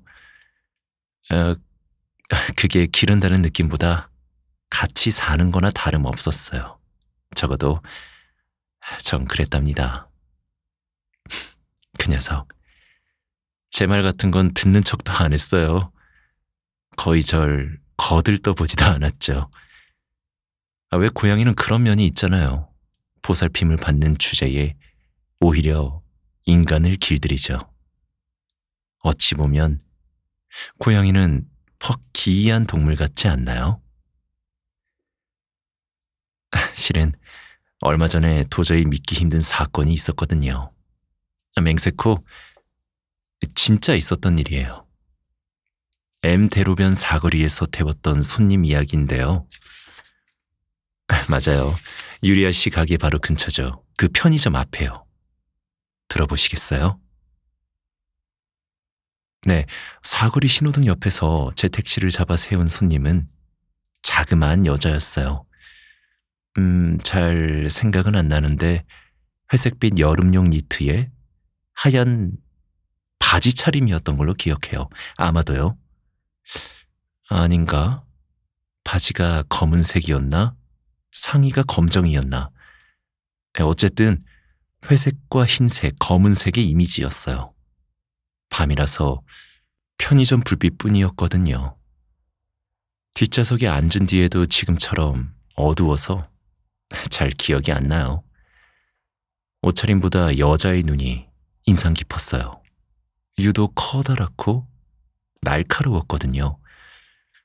음, 무서운 눈이었는데 이따금 번뜩이기도 했죠. 기분 탓만은 아니라고 생각해요. 거의 새벽 1시쯤이었을 거예요. 전철도 이미 끊긴 뒤였죠. 음, 지금이랑 비슷한 시간이에요. 유리아 씨의 호출이 없을 때도 이 시간대에는 이 근방을 자주 배회하곤 해요. 어쩌다 손님을 태우기도 하니까요. 다른 택시도 지나갈 것 같은데 잘 안 잡히죠? S역에서 1km가 채 안 되는 어중간한 거리라서 그래요. 다른 택시나 손님 모두 S역 택시 승강장에 모여 있잖아요. 이 근방은 몰래 손님을 채갈 수 있는 꽤 괜찮은 장소거든요. 음, 그날 밤에도 그런 식으로 손님을 태웠답니다. 좋았어. 오늘도 한 건 했네. 들뜬 마음으로 택시를 가까이 세웠는데 짐승의 울음 같은 소리가 들리는 거예요. 아, 불사. 낭패구나 싶었어요. 여자 뒤에 남자가 서 있는 게 보였거든요. 그 남자가 고래고래 소리를 지른 거였죠. 뭐 하는 짓이야? 난 택시 안 불렀는데. 순간 깨달았죠. 어지간히 취했나 보네. 널찍한 번화가에 있는 S역에서 1km도 채 되지 않는 거리. 장소도 그렇거니와, 에, 이런 시간이니까요. 취객은 각오하고 있었지만 아무래도 질 나쁜 손님한테 걸린 느낌이었죠. 내가 타나 봐라. 그러시던가요. 이쪽이야말로 태우고 싶지 않으니까. 그러나 택시를 잡은 건 남자가 아니었어요. 동행인 여자 쪽이었죠. 그러니 지나칠 수도 없었어요. 마지못해 문을 열었더니 여자가 남자를 향해 말했어요. 타. 동그란 얼굴의 단발머리 여자가 낮은 목소리로 주정뱅이한테 명령했어요. 얼른 타라니까? 어, 왠지 무서운데. 이 사람들 무슨 관계야? 주정뱅이는 아저씨였어요. 어, 나이는, 글쎄요, 50에서 70 사이쯤 됐으려나? 사실 아저씨 나이는 잘 모르겠어요. 여자는, 음, 25에서 35 사이? 어쩌면 더 많을지도 몰라요. 여자 나이도 잘 가늠하기가 힘들더라고요. 아이나 어르신은 짐작하기 쉽잖아요. 책가방을 맸거나 교복을 입었으면 미성년자일 테고, 머리가 새하얗거나 훌렁 까졌거나, 치아가 없거나 등이 굽었으면 80대쯤 되었으려니 하니까요. 그 외에는 모르겠더라고요. 그야 종종 교복을 입은 40대 여자가 없는 건 아니지만요. 물론 차에 태운 적도 있는데요. 지금은 그 이야기가 아니라니까요. 주정뱅이 아저씨와 무서운 눈의 아가씨 이야기죠. 타라고. 어쨌든 아저씨보다 한참 어려 보이는데도 완전히 명령조였어요. 싫어. 아저씨가 악을 썼어요. 꺼져. 이 고양이 귀신아. 순간 웃음이 터져 나올 뻔했어요. 고양이 귀신이라니. 아저씨, 표현 한번 기가 막히네. 무서운 눈의 여자는 등을 구부린 채 전투태세에 들어간 고양이과에 동물처럼 보였거든요. 닥치고 타라니까? 여자가 거듭 말했어요. 아저씨는 뒷좌석으로 굴러 들어갔어요. 에이하라 역으로 가주세요. 뒤이어 스르륵 자리에 앉은 여자가 말했어요. 아, 에이하라 역 말씀이시죠? 역 앞에 내려드리면 될까요? 근처에 도착하면 말씀드릴게요. 여자 옆에서 약간 얼빠진 상태로 허리를 숙이고 있던 아저씨가 웅얼거렸어요. 음, 이 고양이 귀신이 내가 택시비 내놔봐라. 네? 아, 그건 곤란하죠. 전 백미러로 시선을 돌렸어요. 출발하세요. 제 불안이 전해진 걸까요? 여자가 재빨리 말했어요. 요금은 제대로 낼 거니까 괜찮아요. 눈이 번뜩인 것 같았어요. 그야말로 고양이 같더라니까요. 분명히 안 낸다고 말했어. 아저씨가 투덜투덜 중얼거렸죠. 그럴 돈 없어. 지갑에 한 푼도 없다고. 에이하라 역으로요. 여자가 말문을 막듯 덧붙였어요. 출발해 주세요. 일단 M대로 남쪽으로 내려가서 S야역 방면으로 향했어요. 5월이 거의 끝나가는 바람 한 점 없이 무더운 밤이었죠. S야역 앞을 막 지나갔을 때 백미러 너머로 살펴보니 아저씨가 머리를 숙이고 있었어요. 잠든 건가? 여자는 매서운 표정으로 정면을 응시하고 있었죠. 잠드신 건가요? 괜찮을까요?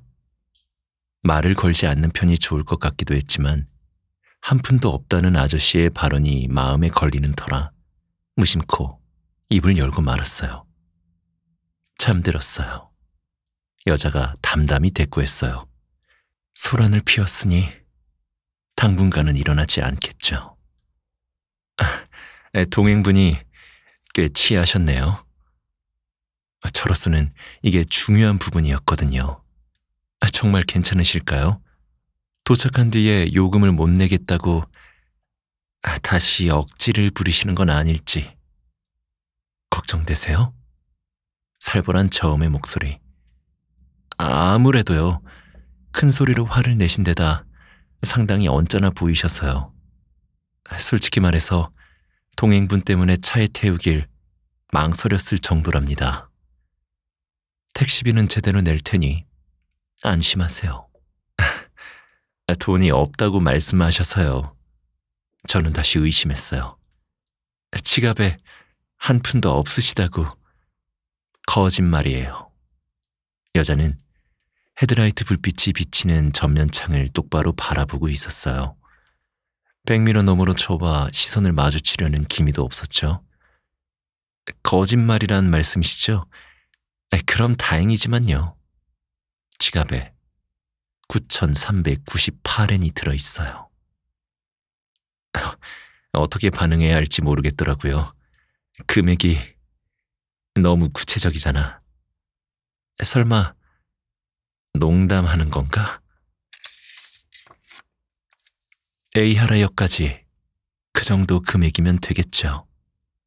여자의 표정은 굳은 채였어요. 농담이 아닌 것 같았죠. 아, 아, 충분합니다. 이 시간이면 교통량도 적으니 금방 도착할 거예요. 전철 선로를 따라 쥐대로 서쪽 길에서 동쪽 길을 향해 자동차는 싱싱 달려갔어요.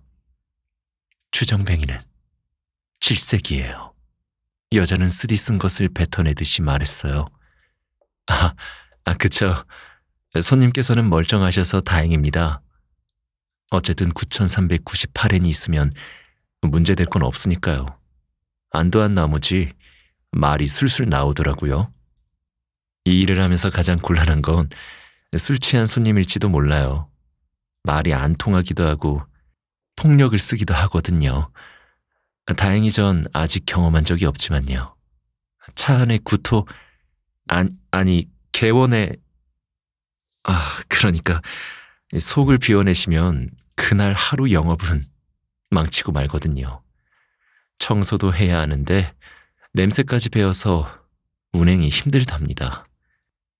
토악질할 정도로 술을 마시는 건 분별 있는 어른이 할 짓은 아니죠. 여자는 심각한 어조로 말했어요. 저도 곧잘 토하긴 하는데 이 남자가 그러는 건 용서 못해요. 네? 저도 모르게 대물었어요. 어, 손님, 자주 토하세요? 급하게 밥을 잔뜩 먹으면요.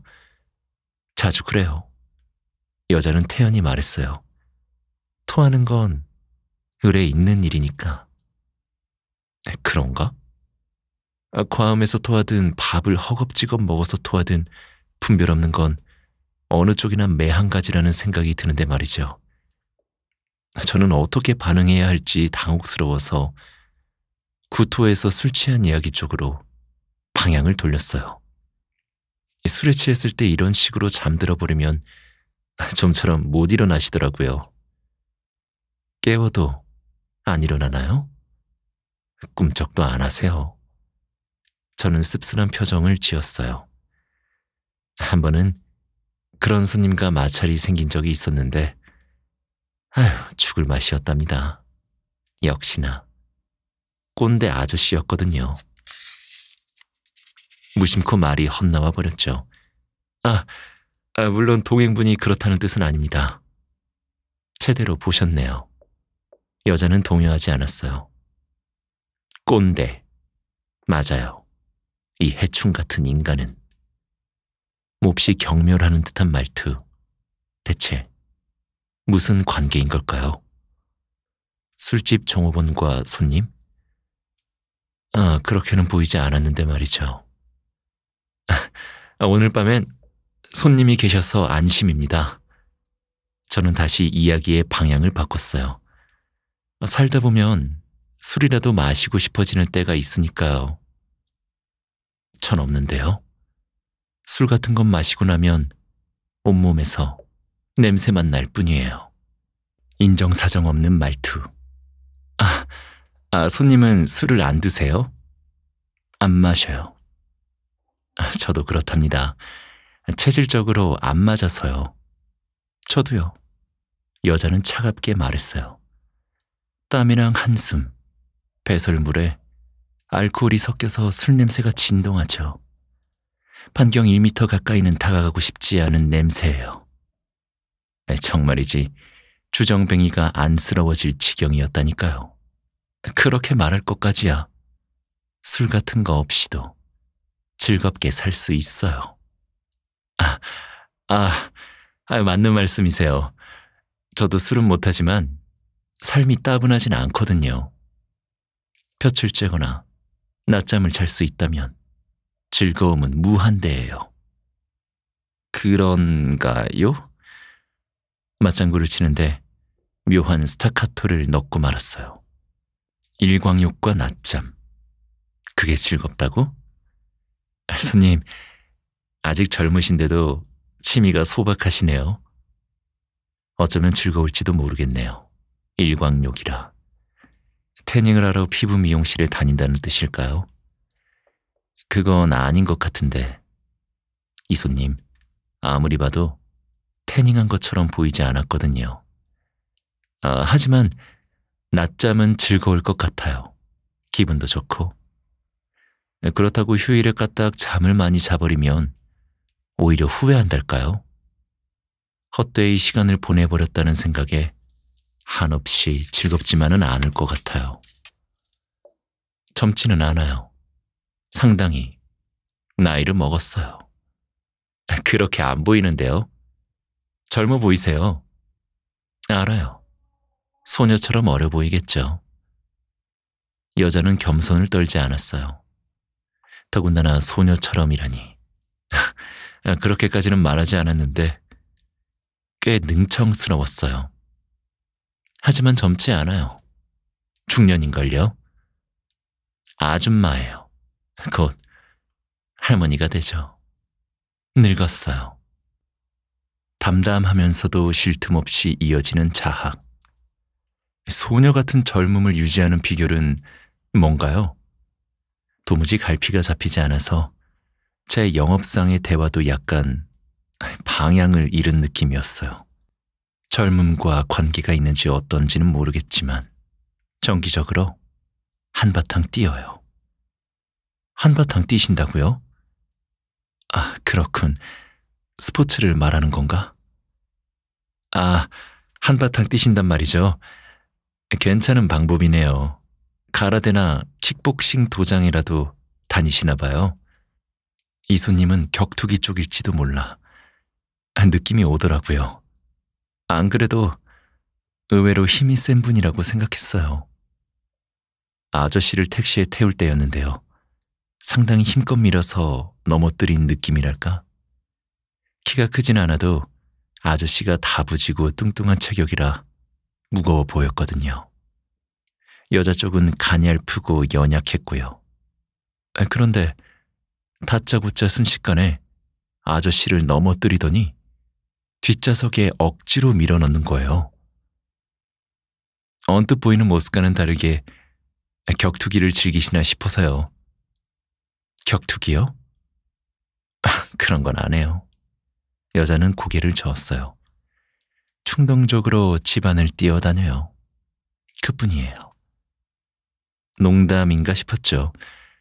하지만 여자의 표정은 그야말로 진지했어요. 재밌거든요. 좋은 운동이죠.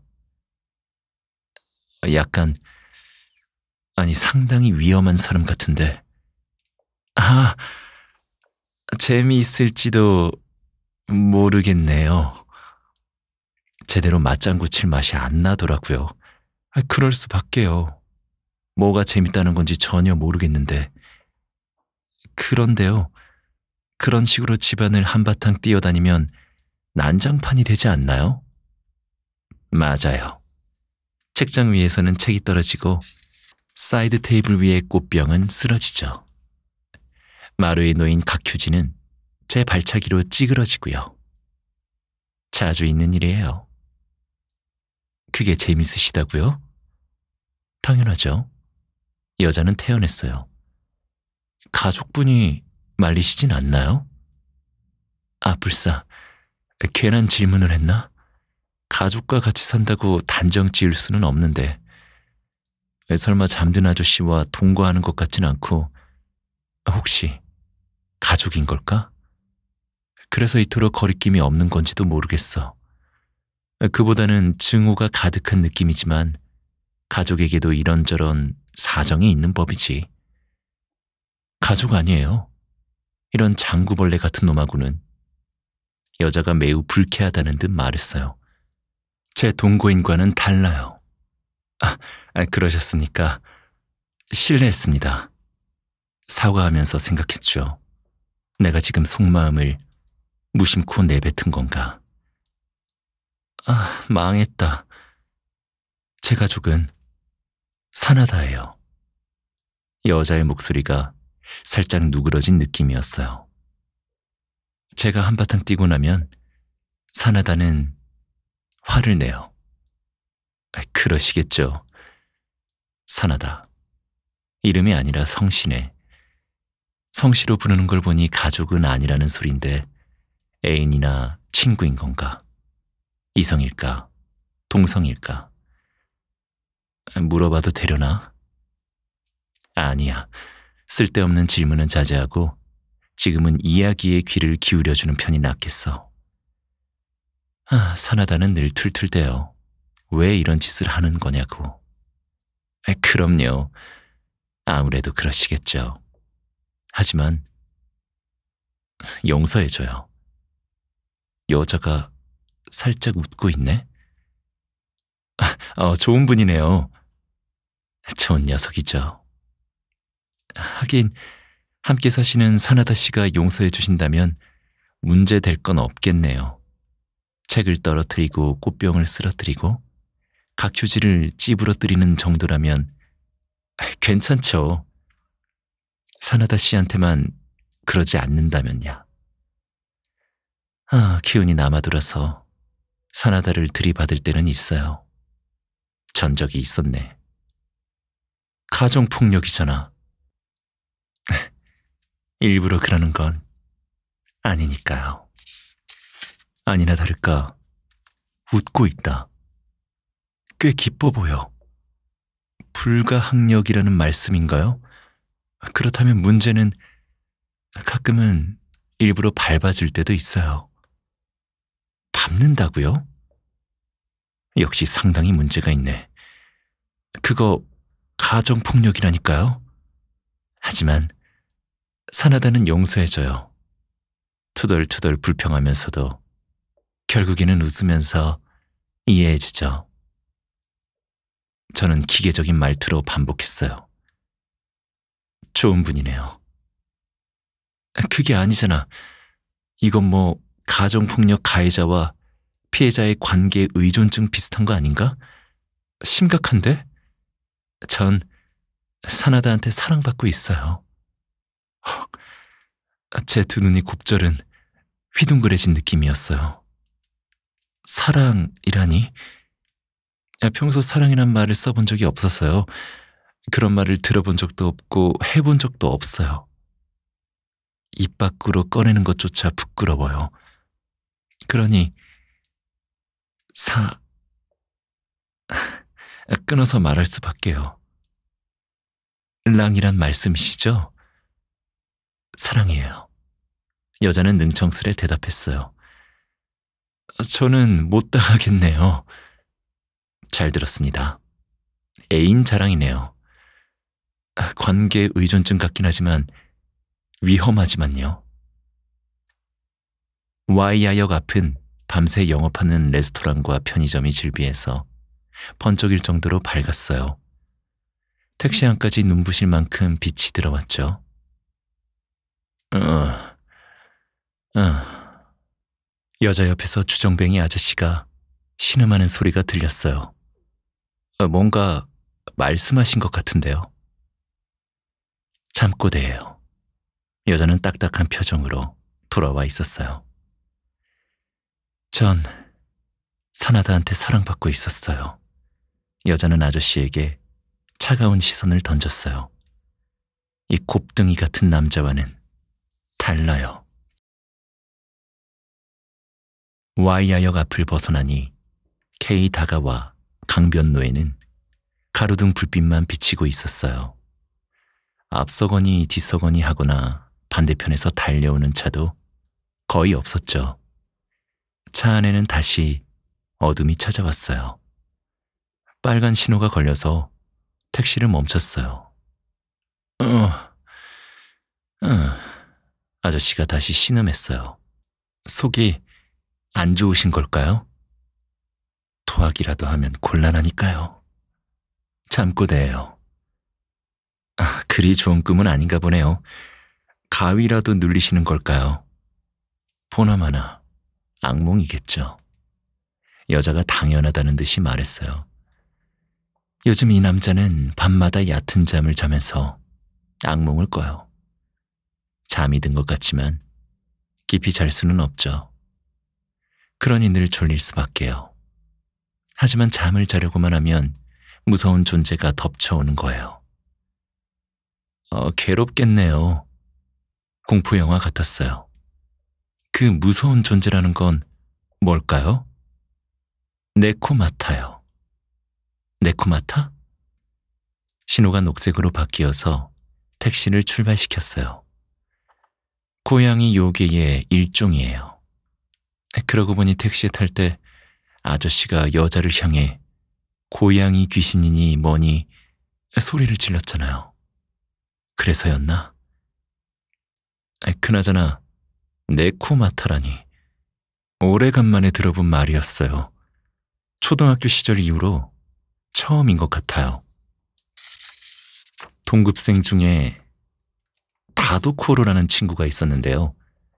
귀신이라든가 요괴라든가 우주인이나 사후세계 같은 분야의 빠삭한 애였거든요. 그 친구와 대화하다가 네코마타라는 고유 명사를 들었던 게 어, 마지막이었나. 아, 아니다. 중학교 국어랑 고전문학 교과서에도 나왔던가요? 스레츠 레구사에서 네코마타가 나왔잖아요. 스님을 놀라게 하는 이야기였는데 자랑은 아니지만 고전문학 수업에서 배운 내용은 기억에서 말끔히 사라졌답니다. 하지만 다도코로 덕분에 네코마타만큼은 똑똑히 기억하고 있었죠. 놀라게 해요? 네코마타는 그렇게 호락호락한 존재가 아니에요. 여자가 냉혹하게 툭 쏘아붙였어요. 우선 날카로운 발톱으로 이놈의 뱃살을 찢어넣죠. 그것도 깊지 않게. 그 다음에 머리를 부드럽게 물고 얼굴 가죽을 벗긴 뒤 오른쪽 어깨를 물어뜯고 왼쪽 다리를 잘게 씹어서 아, 아 아플 것 같아요. 저는 오들오들 떨었어요. 네코마타가 그렇게나 무서운 존재라고 다도 코로가 말했던가? 쓰레즐레 구사에서도 스님이 놀라긴 했지만 그냥 평범한 고양이였다든가 하는 식으로 미적지근하게 결말이 난 거 아니었나요? 아플 거예요. 말 그대로 굉장히 고통스러울걸요? 여자는 만족한 듯 보였어요. 꿈속에서도 아플까요? 당연하죠. 그리고 아무리 고통스럽고 공포스러워도 의식은 계속 깨어 있어요. 도망칠 곳 없는 꿈이죠. 이 사람은 어째서 타인의 악몽을 쏙쏙들이 알고 있는 걸까요? 아저씨의 카운슬러라도 되는 건가? 그래서 이 구더기 같은 놈은 늘 술독에 빠져 살아요. 그래야만 잠들 수 있으니까. 환자와 카운슬러 관계치고는 동정은커녕 너무 가혹하다는 생각마저 들었다니까요. 그런 악몽을 꾸며 괴로워하신다는 건 현실에서 뭔가 끔찍한 일을 겪어서일까요? 여자는 침묵을 지켰어요. 내가 무슨 말 실수라도 한 건가? 일단 잡담을 이어가기로 했어요. 전 술을 못 마시니까 기분 나쁜 일이 생기면 먹을 걸로 풀어요. 화술 대신 폭식인 셈이죠.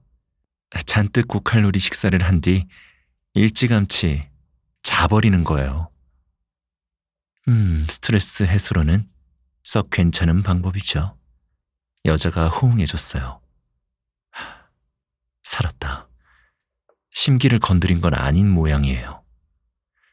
배가 부르면 졸리니까요. 이손님, 역시 잠의 진심인가 보네. 취미가 낮잠이라는 건 진짜였나 봐요. 맞습니다. 밥 먹고 잠드는 게 최고죠. 때로는 잠들 수 없을 만큼 끔찍한 일이 일어나기도 하지만요. 여자가 낮은 목소리로 말을 이었어요. 눈을 감고 잠을 자는 그런 단순한 일이 도저히 불가능하죠. 아무리 시간이 흘러도 꿈이 찾아와 주지 않아요. 그저 슬픈 사실 하나가 머릿속을 빙글빙글 맴돌 뿐. 그럴 때도 있어요. 어두컴컴한 고층 빌딩과 강가에 늘어선 벚나무, 무성한 잎에 가로등 불빛이 가로막혀서 차 안으로 어둠이 내려왔어요. 백미러에 비친 여자의 눈이 번쩍 빛났어요. 그래도 눈을 감고 있기만 하면 결국엔 조금이나마 잠의 파도가 밀려오니까요. 눈을 감고 가만히 있는 수밖에 없어요. 그러다 보면 시간이 흐르고 생각지 못한 힘도 생겨나는 법이죠. 아, 전 안 좋은 일이 있다고 입맛이 없거나 잠을 못 잔 적은 없네요. 아, 감사한 일이죠.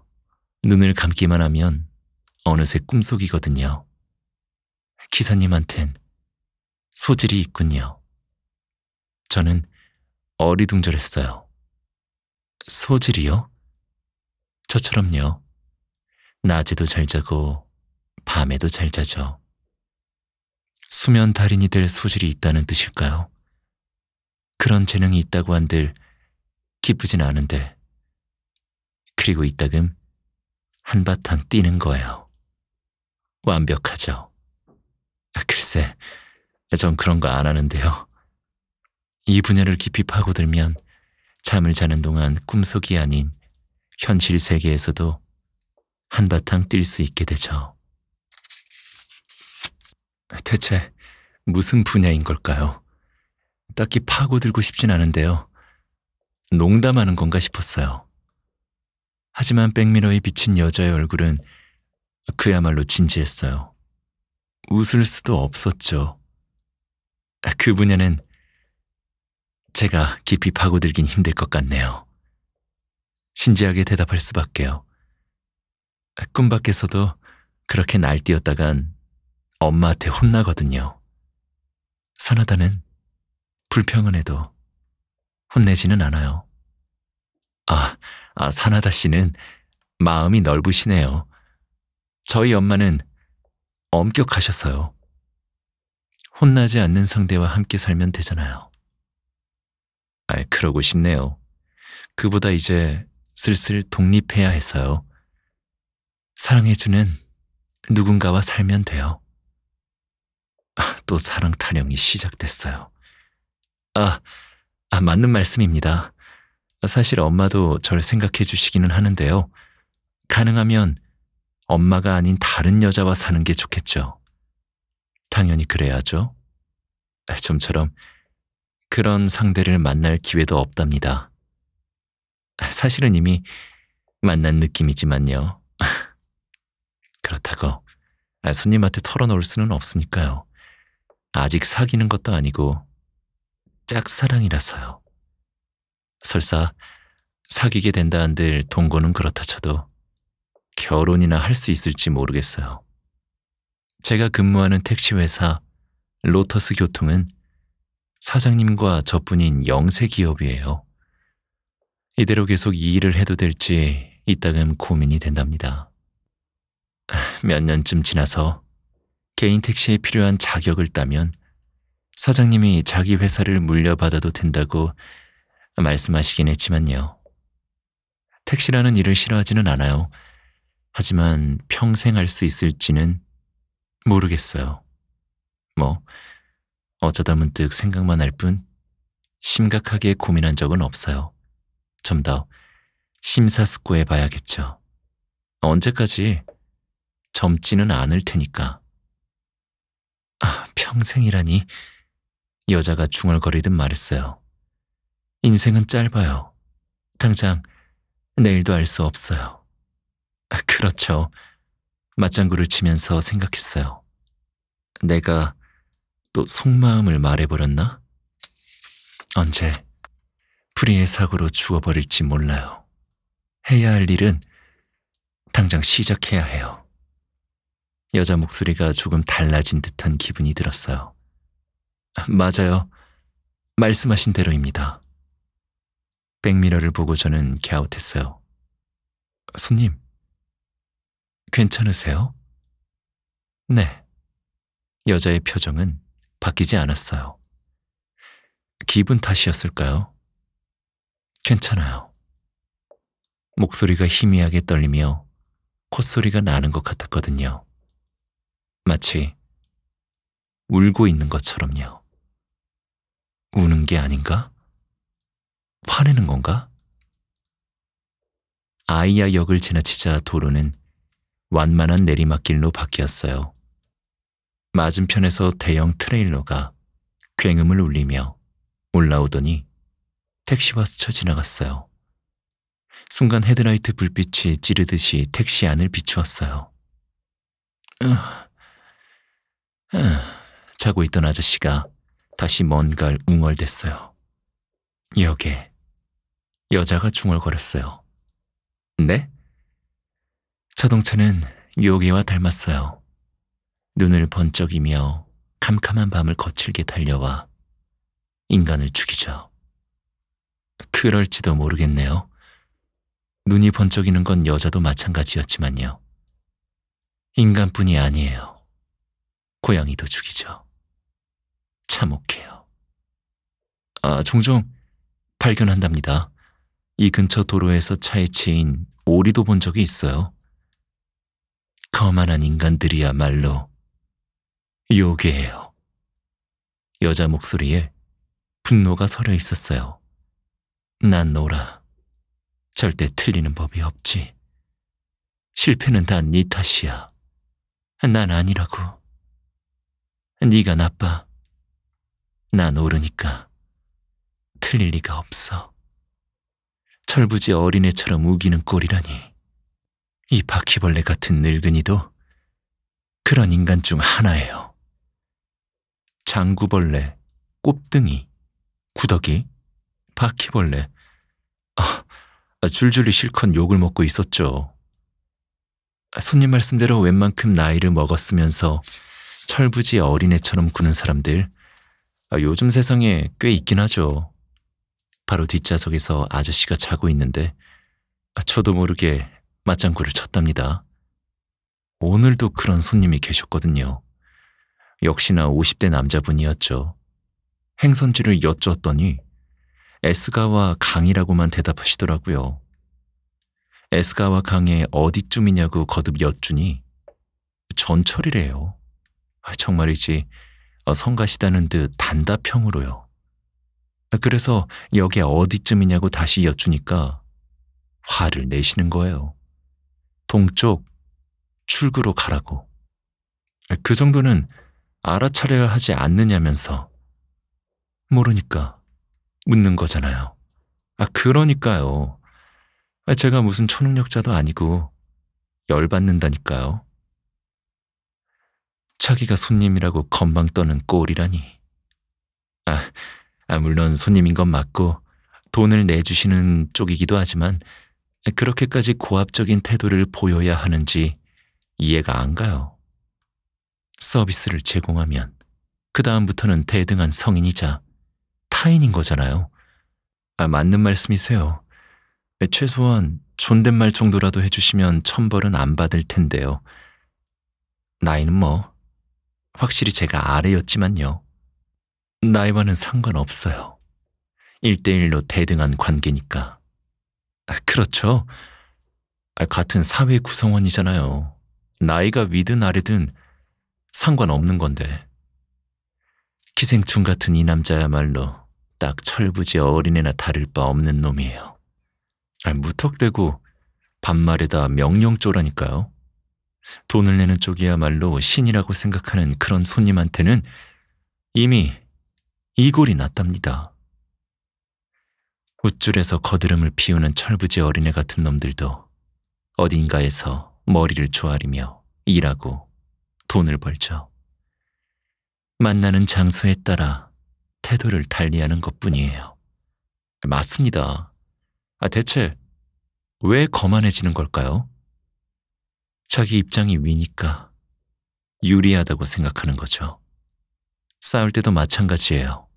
먼저 유리한 영역을 차지하는 게 중요해요. 영역을 차지한다고요? 저는 조금 당황했어요. 상대보다 조금이라도 높은 곳에 설 것. 거기에서 위협하는 거예요. 위협을 한다? 저는 더욱 당황했어요. 길고양이 싸움 같네요. 고양이 싸움도 철부지 어린애 같은 놈들의 허세도 매한가지예요. 자신이 유리하다고 느끼면 때를 놓치지 않고 상대를 깔보죠. 아, 외로울 것 같아요. 그런 사람들은. 맞아요. 외로워지죠. 여자는 단맛이 사라진 껌을 뱉어내듯 그런 표정을 짓고 있었어요. 이 공벌레 같은 늙은이도 가게에만 들어가면 태도가 고압적으로 바뀌어요. 남의 흠을 들춰내서 호들갑을 피우죠. 그러면서 자기 실수는 절대 인정하지 않아요. 그런 인간이에요.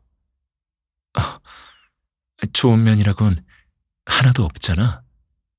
결국 마누라하고는 거의 말도 섞지 않아요. 몇 년쯤 전부터 저녁은 밖에서 해결하고 귀가하죠. 애들도 가까이 다가오지 않아요. 집안에서는 이혼한 것처럼 지내고 있어요. 하긴, 그럴 수밖에 없겠네. 어, 외롭겠어요. 삶의 방식을 바꾸면 좋을 텐데. 자기가 나쁘다는 생각을 안 하니까 바뀔 리가 없죠. 직장에서는 어떤가요? 당연히 미운 털이 박혔죠. 그나마 회사에선 아직 설 자리가 있으니까 할 일이 없어도 끈덕지게 남아있다가 야근하는 척을 해요. 그래서 저녁은 회사에서 먹죠. 거의 메뉴는 편의점 주먹밥이나 카레맛 컵라면이고. 아, 쓸쓸한 삶이네. 너무 서글퍼. 집이나 회사에서 벗어나 어딘가로 기분 전환하러 갈 생각은 안 하시나 봐요. 고작 고민했다는 게 이런 식으로 술에 취하는 거예요. 그러려고 매일 저녁 식비를 절약한다고도 할 수 있죠. 주먹밥과 컵라면으로 원기를 보충한 뒤 밤마다 술집에 드나드는 거군요. 아, 어떤 생활일지 알만하네요. 어쨌든 기분 전환할 수 있는 장소가 있다니 다행이에요. 어, 어떤 가게에서 마시나요? 마마가 철부지의 이야기를 들어주는 곳이에요. 보육원이요? 옛날식의 한물간 술집 있잖아요. 아, 안성맞춤이네요. 그곳에서 조금이나마 위로받으시는, 아니요. 여자는 싹둑 말을 잘랐어요. 위로를 받으시는 게 아닌가요? 전혀요. 그 가게에서도 천덕꾸러기 신세라서 이제껏 몇 번이나 출입 금지 명령을 당했어요. 오늘 밤에도 두 번 다시 오지 말라는 말을 듣고 쫓겨난 참이에요. 아, 그러셨군요. 그래서 저 손님의 심기가 더욱 불편하셨나 봐요. 네? 아, 이야기 속 아저씨에 대해 뭔가 짚히는 거라도 있으세요, 유리아 씨? 유리아 씨의 가게가 있는 곳은 엠데로에서 구석으로 들어간 자그마한 외길 골목이니까 아저씨와 여자 손님을 태운 사거리 편의점 바로 뒤쪽이네요. 떡 벌어진 체격에 키는 그리 크지 않고 흰머리가 섞였는데 머리숱이 살짝 적은 편이고 괄괄한 목소리에 술버릇이 나빠 보이는 쉰 이상, 일흔 이하쯤 되는 아저씨였어요. 아, 그러셨군요. 아, 유리아 씨가 일하는 가게에 단골이셨다니. 에비사와 씨라고요? 아, 글쎄요, 이름까지는 여쭤보지 않았어요. 여자도 그 이름으로 아저씨를 부른 적은 단 한 번도 없었으니까요. 계속 장구벌레니 꼽등이니 구덕이니 바퀴벌레니 기생충이니 공벌레 따위로 불렀거든요. 직접 말을 걸 때도 이봐 라든가 너라고 했어요. 무슨 기분인지 아시겠다고요? 아, 유리아 씨한테도 미움받고 계셨네요. 에비사와 씨. 그렇겠죠. 가게 측으로부터 몇 번이나 출입금지 명령을 당했다고 하셨으니. 에휴, 저런, 가게 여직원한테 거친 말을 내뱉거나 별거 아닌 일로 깐죽깐죽 불평이나 해댔군요. 그런데도 술에 취하면 기분 나쁘게 만지면서 작업을 거나 싶더니 계산할 때만 되면 어김없이 비싸다는 둥, 사기라는 둥, 돈을 못 내겠다는 둥, 투덜거리곤 했단 말이죠. 아, 장점이라곤 전혀 없는 분이네요. 더는 얼씬도 하지 말라는 말이 나올만 해요. 에이, 못 말리는 아저씨네. 두 번 다시 오지 말라고 수없이 말해도 아무런 소용이 없었군요. 더는 패를 끼치지 않겠다고 유난을 떠는 터라 어쩔 수 없이 술을 내왔다고요. 아, 하지만 점잖게 술을 마시는 건 달랑 두 시간 정도라니. 거기에서 1분만 지나면 어김없이 똑같은 짓을 되풀이한다는 거네요. 아, 회사가 휴일인 토요일 밤까지 일부러 찾아와요. 집에서 냉대 받으니 그러시는 거겠죠. 최근에도 오셨어요? 아, 그랬군요. 영업을 시작하자마자요. 아, 문 열기만을 기다리셨나 보네요. 겨울 이후 몇 개월 동안 얼굴을 비추지 않길래 속이 시원했는데 다시 나타났단 말이죠. 가게 사람들한테 그런 대접을 받는다면 저라도 기가 죽을 것 같아요. 유난히 심기가 불편해 보이길래 내버려뒀더니 아, 다섯 시간 가까이 진을 치고 있었군요. 골치 아프셨겠네요. 제대로 상대해주지 않으면 고양이 귀신이니 요괴니 그런 소리를 짓거려 댔고요. 그래서 마담 언니가 고양이 귀신이라니 실례잖아. 아무리 우리 애들 평균 연령이 좀 높기로 서니 여긴 귀신의 집이 아니라고. 불만이면 다른 가게로 가던가. 다신 오지 마. 라고 화를 내며 에이비사와 씨를 내쫓았군요. 아유, 그런 일이 있었다니. 제 택시에 타신 게 그날 밤이었을까요? 겨울 이후로 최근까지 한동안 에비사와 씨는 가게에 안 오신 거죠? 아무래도 맞는 것 같네요. 아마 가게에서 나오자마자 그 여자한테 붙잡혔던 모양이에요. 고양이 귀신이라는 말은 가게의 마담 언니나 유리아 씨를 빗대어 욕한 건 아닐 거예요. 아까 이야기해드린 그 꿈을 말한 것 같은데요. 아저씨도 혼자 시달려온 모양인데 그래도 어쩔 도리가 없네요. 행실이 나빴으니까요. 가정에서도 직장에서도 기분 전환하러 가서도 마음 붙일 곳이 없었겠네요. 애처로운 인생이에요. 나중에 그런 아저씨만은 되고 싶지 않아요. 그날 밤에도 비슷한 이야기를 했답니다. 집에서도 천덕꾸러기 신세라니 꽤 힘드시겠어요. 저희 집은 말이죠. 애당초 아버지가 집에 거의 없었어요. 귀가도 늦었으니 저녁밥을 함께 먹는 일은 많아야 일주일에 한두 번 정도였죠. 그럴 땐 거의 대화도 없었고요. 아버지가 집에 있으면 뭔가 거북했다고나 할까요? 물론 아버지와 엄마 사이가 나빴던 건 아니에요. 아마도요. 일요일에는 가끔 가족끼리 외출도 했어요. 형도 있었으니까 네 식구였죠. 제가 중학생이 된 무렵부터는 가족과 여행이나 나들이를 간 적이 거의 없었지만요. 언덕을 내려와서 아이바시 역 앞을 통과했어요. 셔터가 내려간 쇼핑몰 건물에는 어렴풋이 야간 조명이 켜져 있고 한밤중인데도 거리에는 드문드문 사람 그림자가 있었죠. 지금도 같은 집에 살지만 아버지와는 거의 대화를 안 해요. 인사나 하는 정도랄까요. 거실이나 욕실에서 스쳐 지나갈 땐 가벼운 인기척은 내죠. 인사라기보다는 웅얼거리는 소리에 가까워요. 서로 웅얼대는 거죠. 꼭 인간이 아닌 것처럼요. 중요하죠. 서로 웅얼거리는 거요? 아이바시 역에서 멀어지자 다시 거리는 어둡게 가라앉았고 피탈길이 이어졌어요. 물론이죠. 늘 기운찬 목소리로 잘 잤니? 기분은 어때? 난 건강해. 너도 그렇고? 같은 말을 떠들어대며 친근하게 굴 수 있어요? 아, 그건 힘들 것 같은데요. 왼편으로 돔구장의 지붕과 전구장식으로 불을 밝힌 K 유원지에 제트코스터가 희뿌옇게 보이기 시작했어요. 아, 전 비교적 말이 많은 편인데 형은 고등학교 무렵부터는 거의 말없이 살아왔어요. 그래서 엄마는 재미가 없었나 봐요.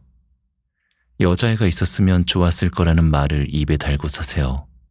여자끼리는 사이좋게 외출하거나 수다를 떨 수도 있잖아요. 그러면 잘 잤니? 오늘 뭐 할까?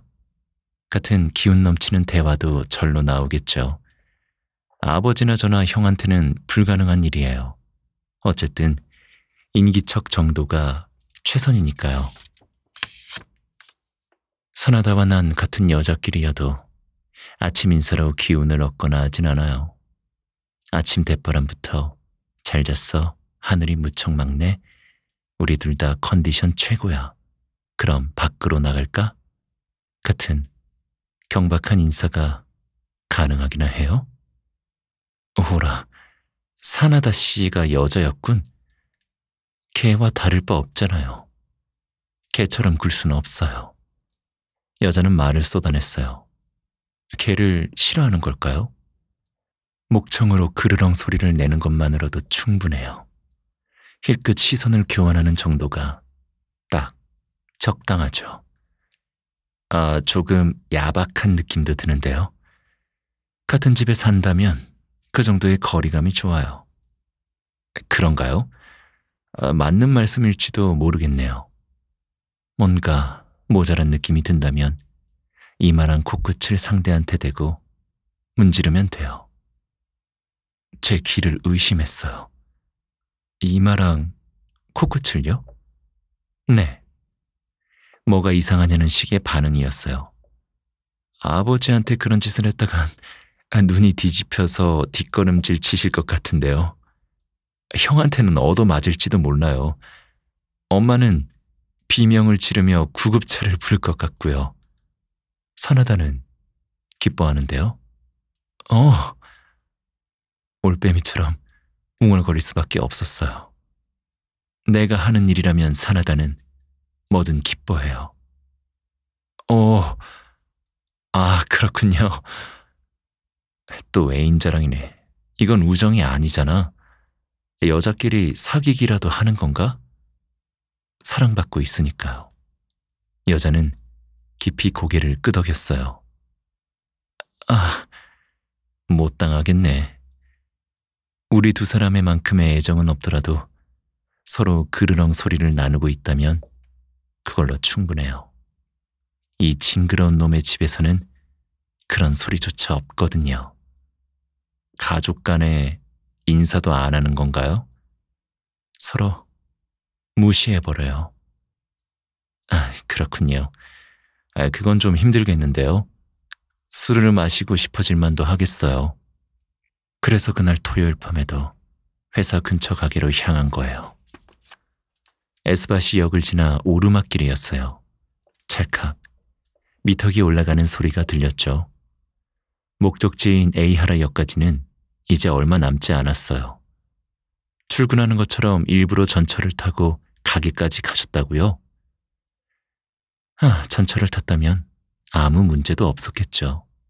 번쩍 여자의 눈이 백미러 속에서 번뜩이는 것 같았어요. 이 지네 같은 놈은 차를 끌고 갔어요. 운전해서 술 마시러 가다니 위험하잖아요. 술을 마시는 동안 차는 어디에 세워둔 거죠?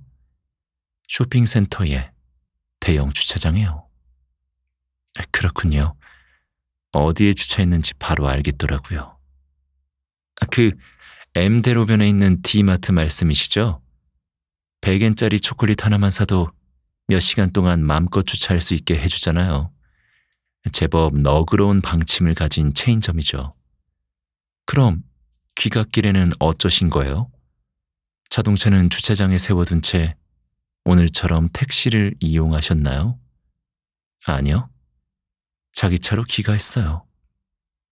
음주운전이잖아요. 맞아요. 위험한 행동인데요? 그런 사람 있잖아요. 음주운전에 아무런 죄책감도 느끼지 못하는 사람들. 옛날에는 그런 의식이 퍽 느슨했던 모양이에요. 저희 사장님도 소시적에는 술을 마신 채 운전한 적이 있다고 하셨거든요. 아, 아, 물론 지금은 안 그러세요. 택시 운전사가 됐으니 어림도 없죠. 게다가 사장님은 개인 택시 회사를 운영하시니까요. 무사고 모범 운전을 철칙으로 하시거든요. 미적지근한 면도 있는 아저씨지만 그 점에 한해서는 엄격하세요. 제가 술도 안 마시고 난폭 운전도 안 해서 마음에 드셨다나 봐요. 다른 부분은 어떤지 모르겠지만요. 아, 음주운전은 안 돼요. 법률 위반이에요. 사고의 원인이 되잖아요. 맞아요. 하지만 이치렁이 같은 남자는 그렇게 생각하지 않았어요. 지금까지도 음주운전을 했으니까요.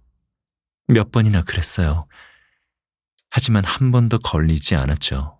사고도 일으키지 않았고요. 그러니 괜찮다고 굳게 믿어버린 거죠. 괴상한 경험을 성공이라고 믿어버린 거네요. 실패와는 종이 한 장 차이죠. 어쩌다 잘 넘겼을 뿐인데 성공이라고 철석같이 믿어버렸으니 아, 커다란 착각이네요. 언제인가 유리아 씨도 비슷한 이야기를 해주셨잖아요. 그래서 당시에 저는 그 이야기를 들려드렸답니다. 어, 손님 이야기인데요. 자제분이 있는데 그 아이가 이른바 등교 거부하래요. 학교 같은 곳은 안 가도 돼요. 여자는 확신에 차 있었어요. 아, 아, 그렇죠. 무심코 동의하는 바람에 이야기가 끝날 뻔했지만, 아, 뭐예요? 아, 잠깐, 그게 아니라요. 좋은 게 좋은 거라지만 부모로서는 걱정되지 않겠어요? 아, 그래서 고민하고 있었더니 주변에 아이 가진 동료가 이러니 저러니 충고를 해준 거예요. 어릴 적 교육은 이렇게 해야 한다는 식으로요. 친구들과 교제하는 법을 좀 더 잘 가르쳐야 한다고 그랬대요. 부모가 살아가는 방식 자체가 아이에게 악영향을 끼친 게 아니냐고 하면서요. 하지만 어릴 적에 착실히 교육시키고 친구와의 교제에도 마음을 쓰며 아무리 모범적인 모습을 부모가 보인다 해도 학교에 가기 싫어하는 아이는 있는 법이잖아요. 그런데 주변 사람들은 자기 아이가 등교 거부아가 아니니까 자신의 방식이 옳았다고 믿어버리죠. 자기 아이는 이런데 저 집 아이는 다르니까 이상하다는 식으로 단정 짓는 사람도 많나 봐요. 상대편에 서서 생각해보면 좋을 텐데 말이죠. 저 집은 이런데 우리 집은 이래. 그러니까 절대적 해답은 없는 거라고 말이에요. 어쩌다 일이 잘 풀렸다고 해서 그걸 성공한 경험으로 여기는 건 착각일 뿐이에요. 네, 경험이 중요하긴 하죠. 착각이에요. 어리석은 사람일수록 경험 때문에 오히려 견문이 좁아져요. 오역을 지나치자 내리막길이 나왔어요. 이 길을 다 내려가면 에스바시 다리 사거리예요. 아, 슬슬 목적지를 자세하게 물어봐야 하죠. 일이 잘 풀리게 하는 방법론 같은 건 없잖아요. 예감이 좋아서 선택했다가 잘 안 풀릴 때도 있고 위험천만이라고 생각하면서도 참고 견뎌낸 끝에 좋은 결과를 얻을 때도 있죠. 하, 이 동나방 같은 녀석도 마찬가지예요. 음주운전을 반복해도 이제껏 무사고였죠. 아, 하지만 그런 일은 드문 법이죠. 이대로 사고를 일으키지 않으면 다행인데 일이 터지고 나면 돌이키기 힘든 상황이 되어버리니까요. 이미 저질렀어요. 여자가 불쑥 중얼거렸어요. 네? 사고가 났다고요. 빨간 신호, 에스바시다리 사거리에서 저는 자동차를 멈췄어요. 여기에요. 백미러 속에서 여자가 제 눈을 똑바로 바라봤어요. 여기에서 사고를 일으켰어요. 신호등 아래 가드레일 옆에 말라 비틀어진 노란색과 보라색 국화꽃다발이 놓여 있었어요. 여자의 말대로 인명사고가 있었던 모양이에요. 입간판도 있었어요. 1월 21일 심야에 발생한 뺑소니 사고에 목격자를 찾습니다. 아, 곧 A하라 역입니다. 어디쯤 세워드릴까요? 약간 당혹스러워 하면서 저는 물었어요. 이대로 직진해주세요. 신호가 파란색으로 바뀌어서 택시를 출발시켰어요. 기사님, 여자가 벼랑간 화제를 바꿨어요. 고양이와 살았던 적이 있나요? 갑작스런 질문이었죠. 저는 더욱더 어리둥절해졌어요. 아, 아, 고양이 말씀이세요? 키웠던 적 있죠. 아, 옛날 일이에요. 10년 전쯤이었죠. 지금은 없어요. 아, 죽는 모습을 지켜보는 게 괴로워서 엄마는 두 번 다시 기르고 싶지 않다고 말씀하시곤 해요. 그 심정은 이해해요. 전혀 절 따르지는 않았어요. 이름을 불러도 가까이 다가오지 않았죠. 고양이가 자고 있을 때 이따금 슬쩍 다가가 등을 쓰다듬곤 했어요. 그러면 곧장 벌떡 일어나 도망가 버렸지만 가만히 있어주는 경우도 있었죠. 부드럽고 따뜻하고 폭신폭신한 느낌이 좋았어요. 원, 어느 쪽이 기르는 입장인지. 음, 상당히 머리가 좋은 고양이였어요. 싫어하는 손님의 신발에 소변을 갈겨놓기도 했죠. 엄마는 사람의 마음을 읽어내는 녀석이었다고 믿는 눈치예요.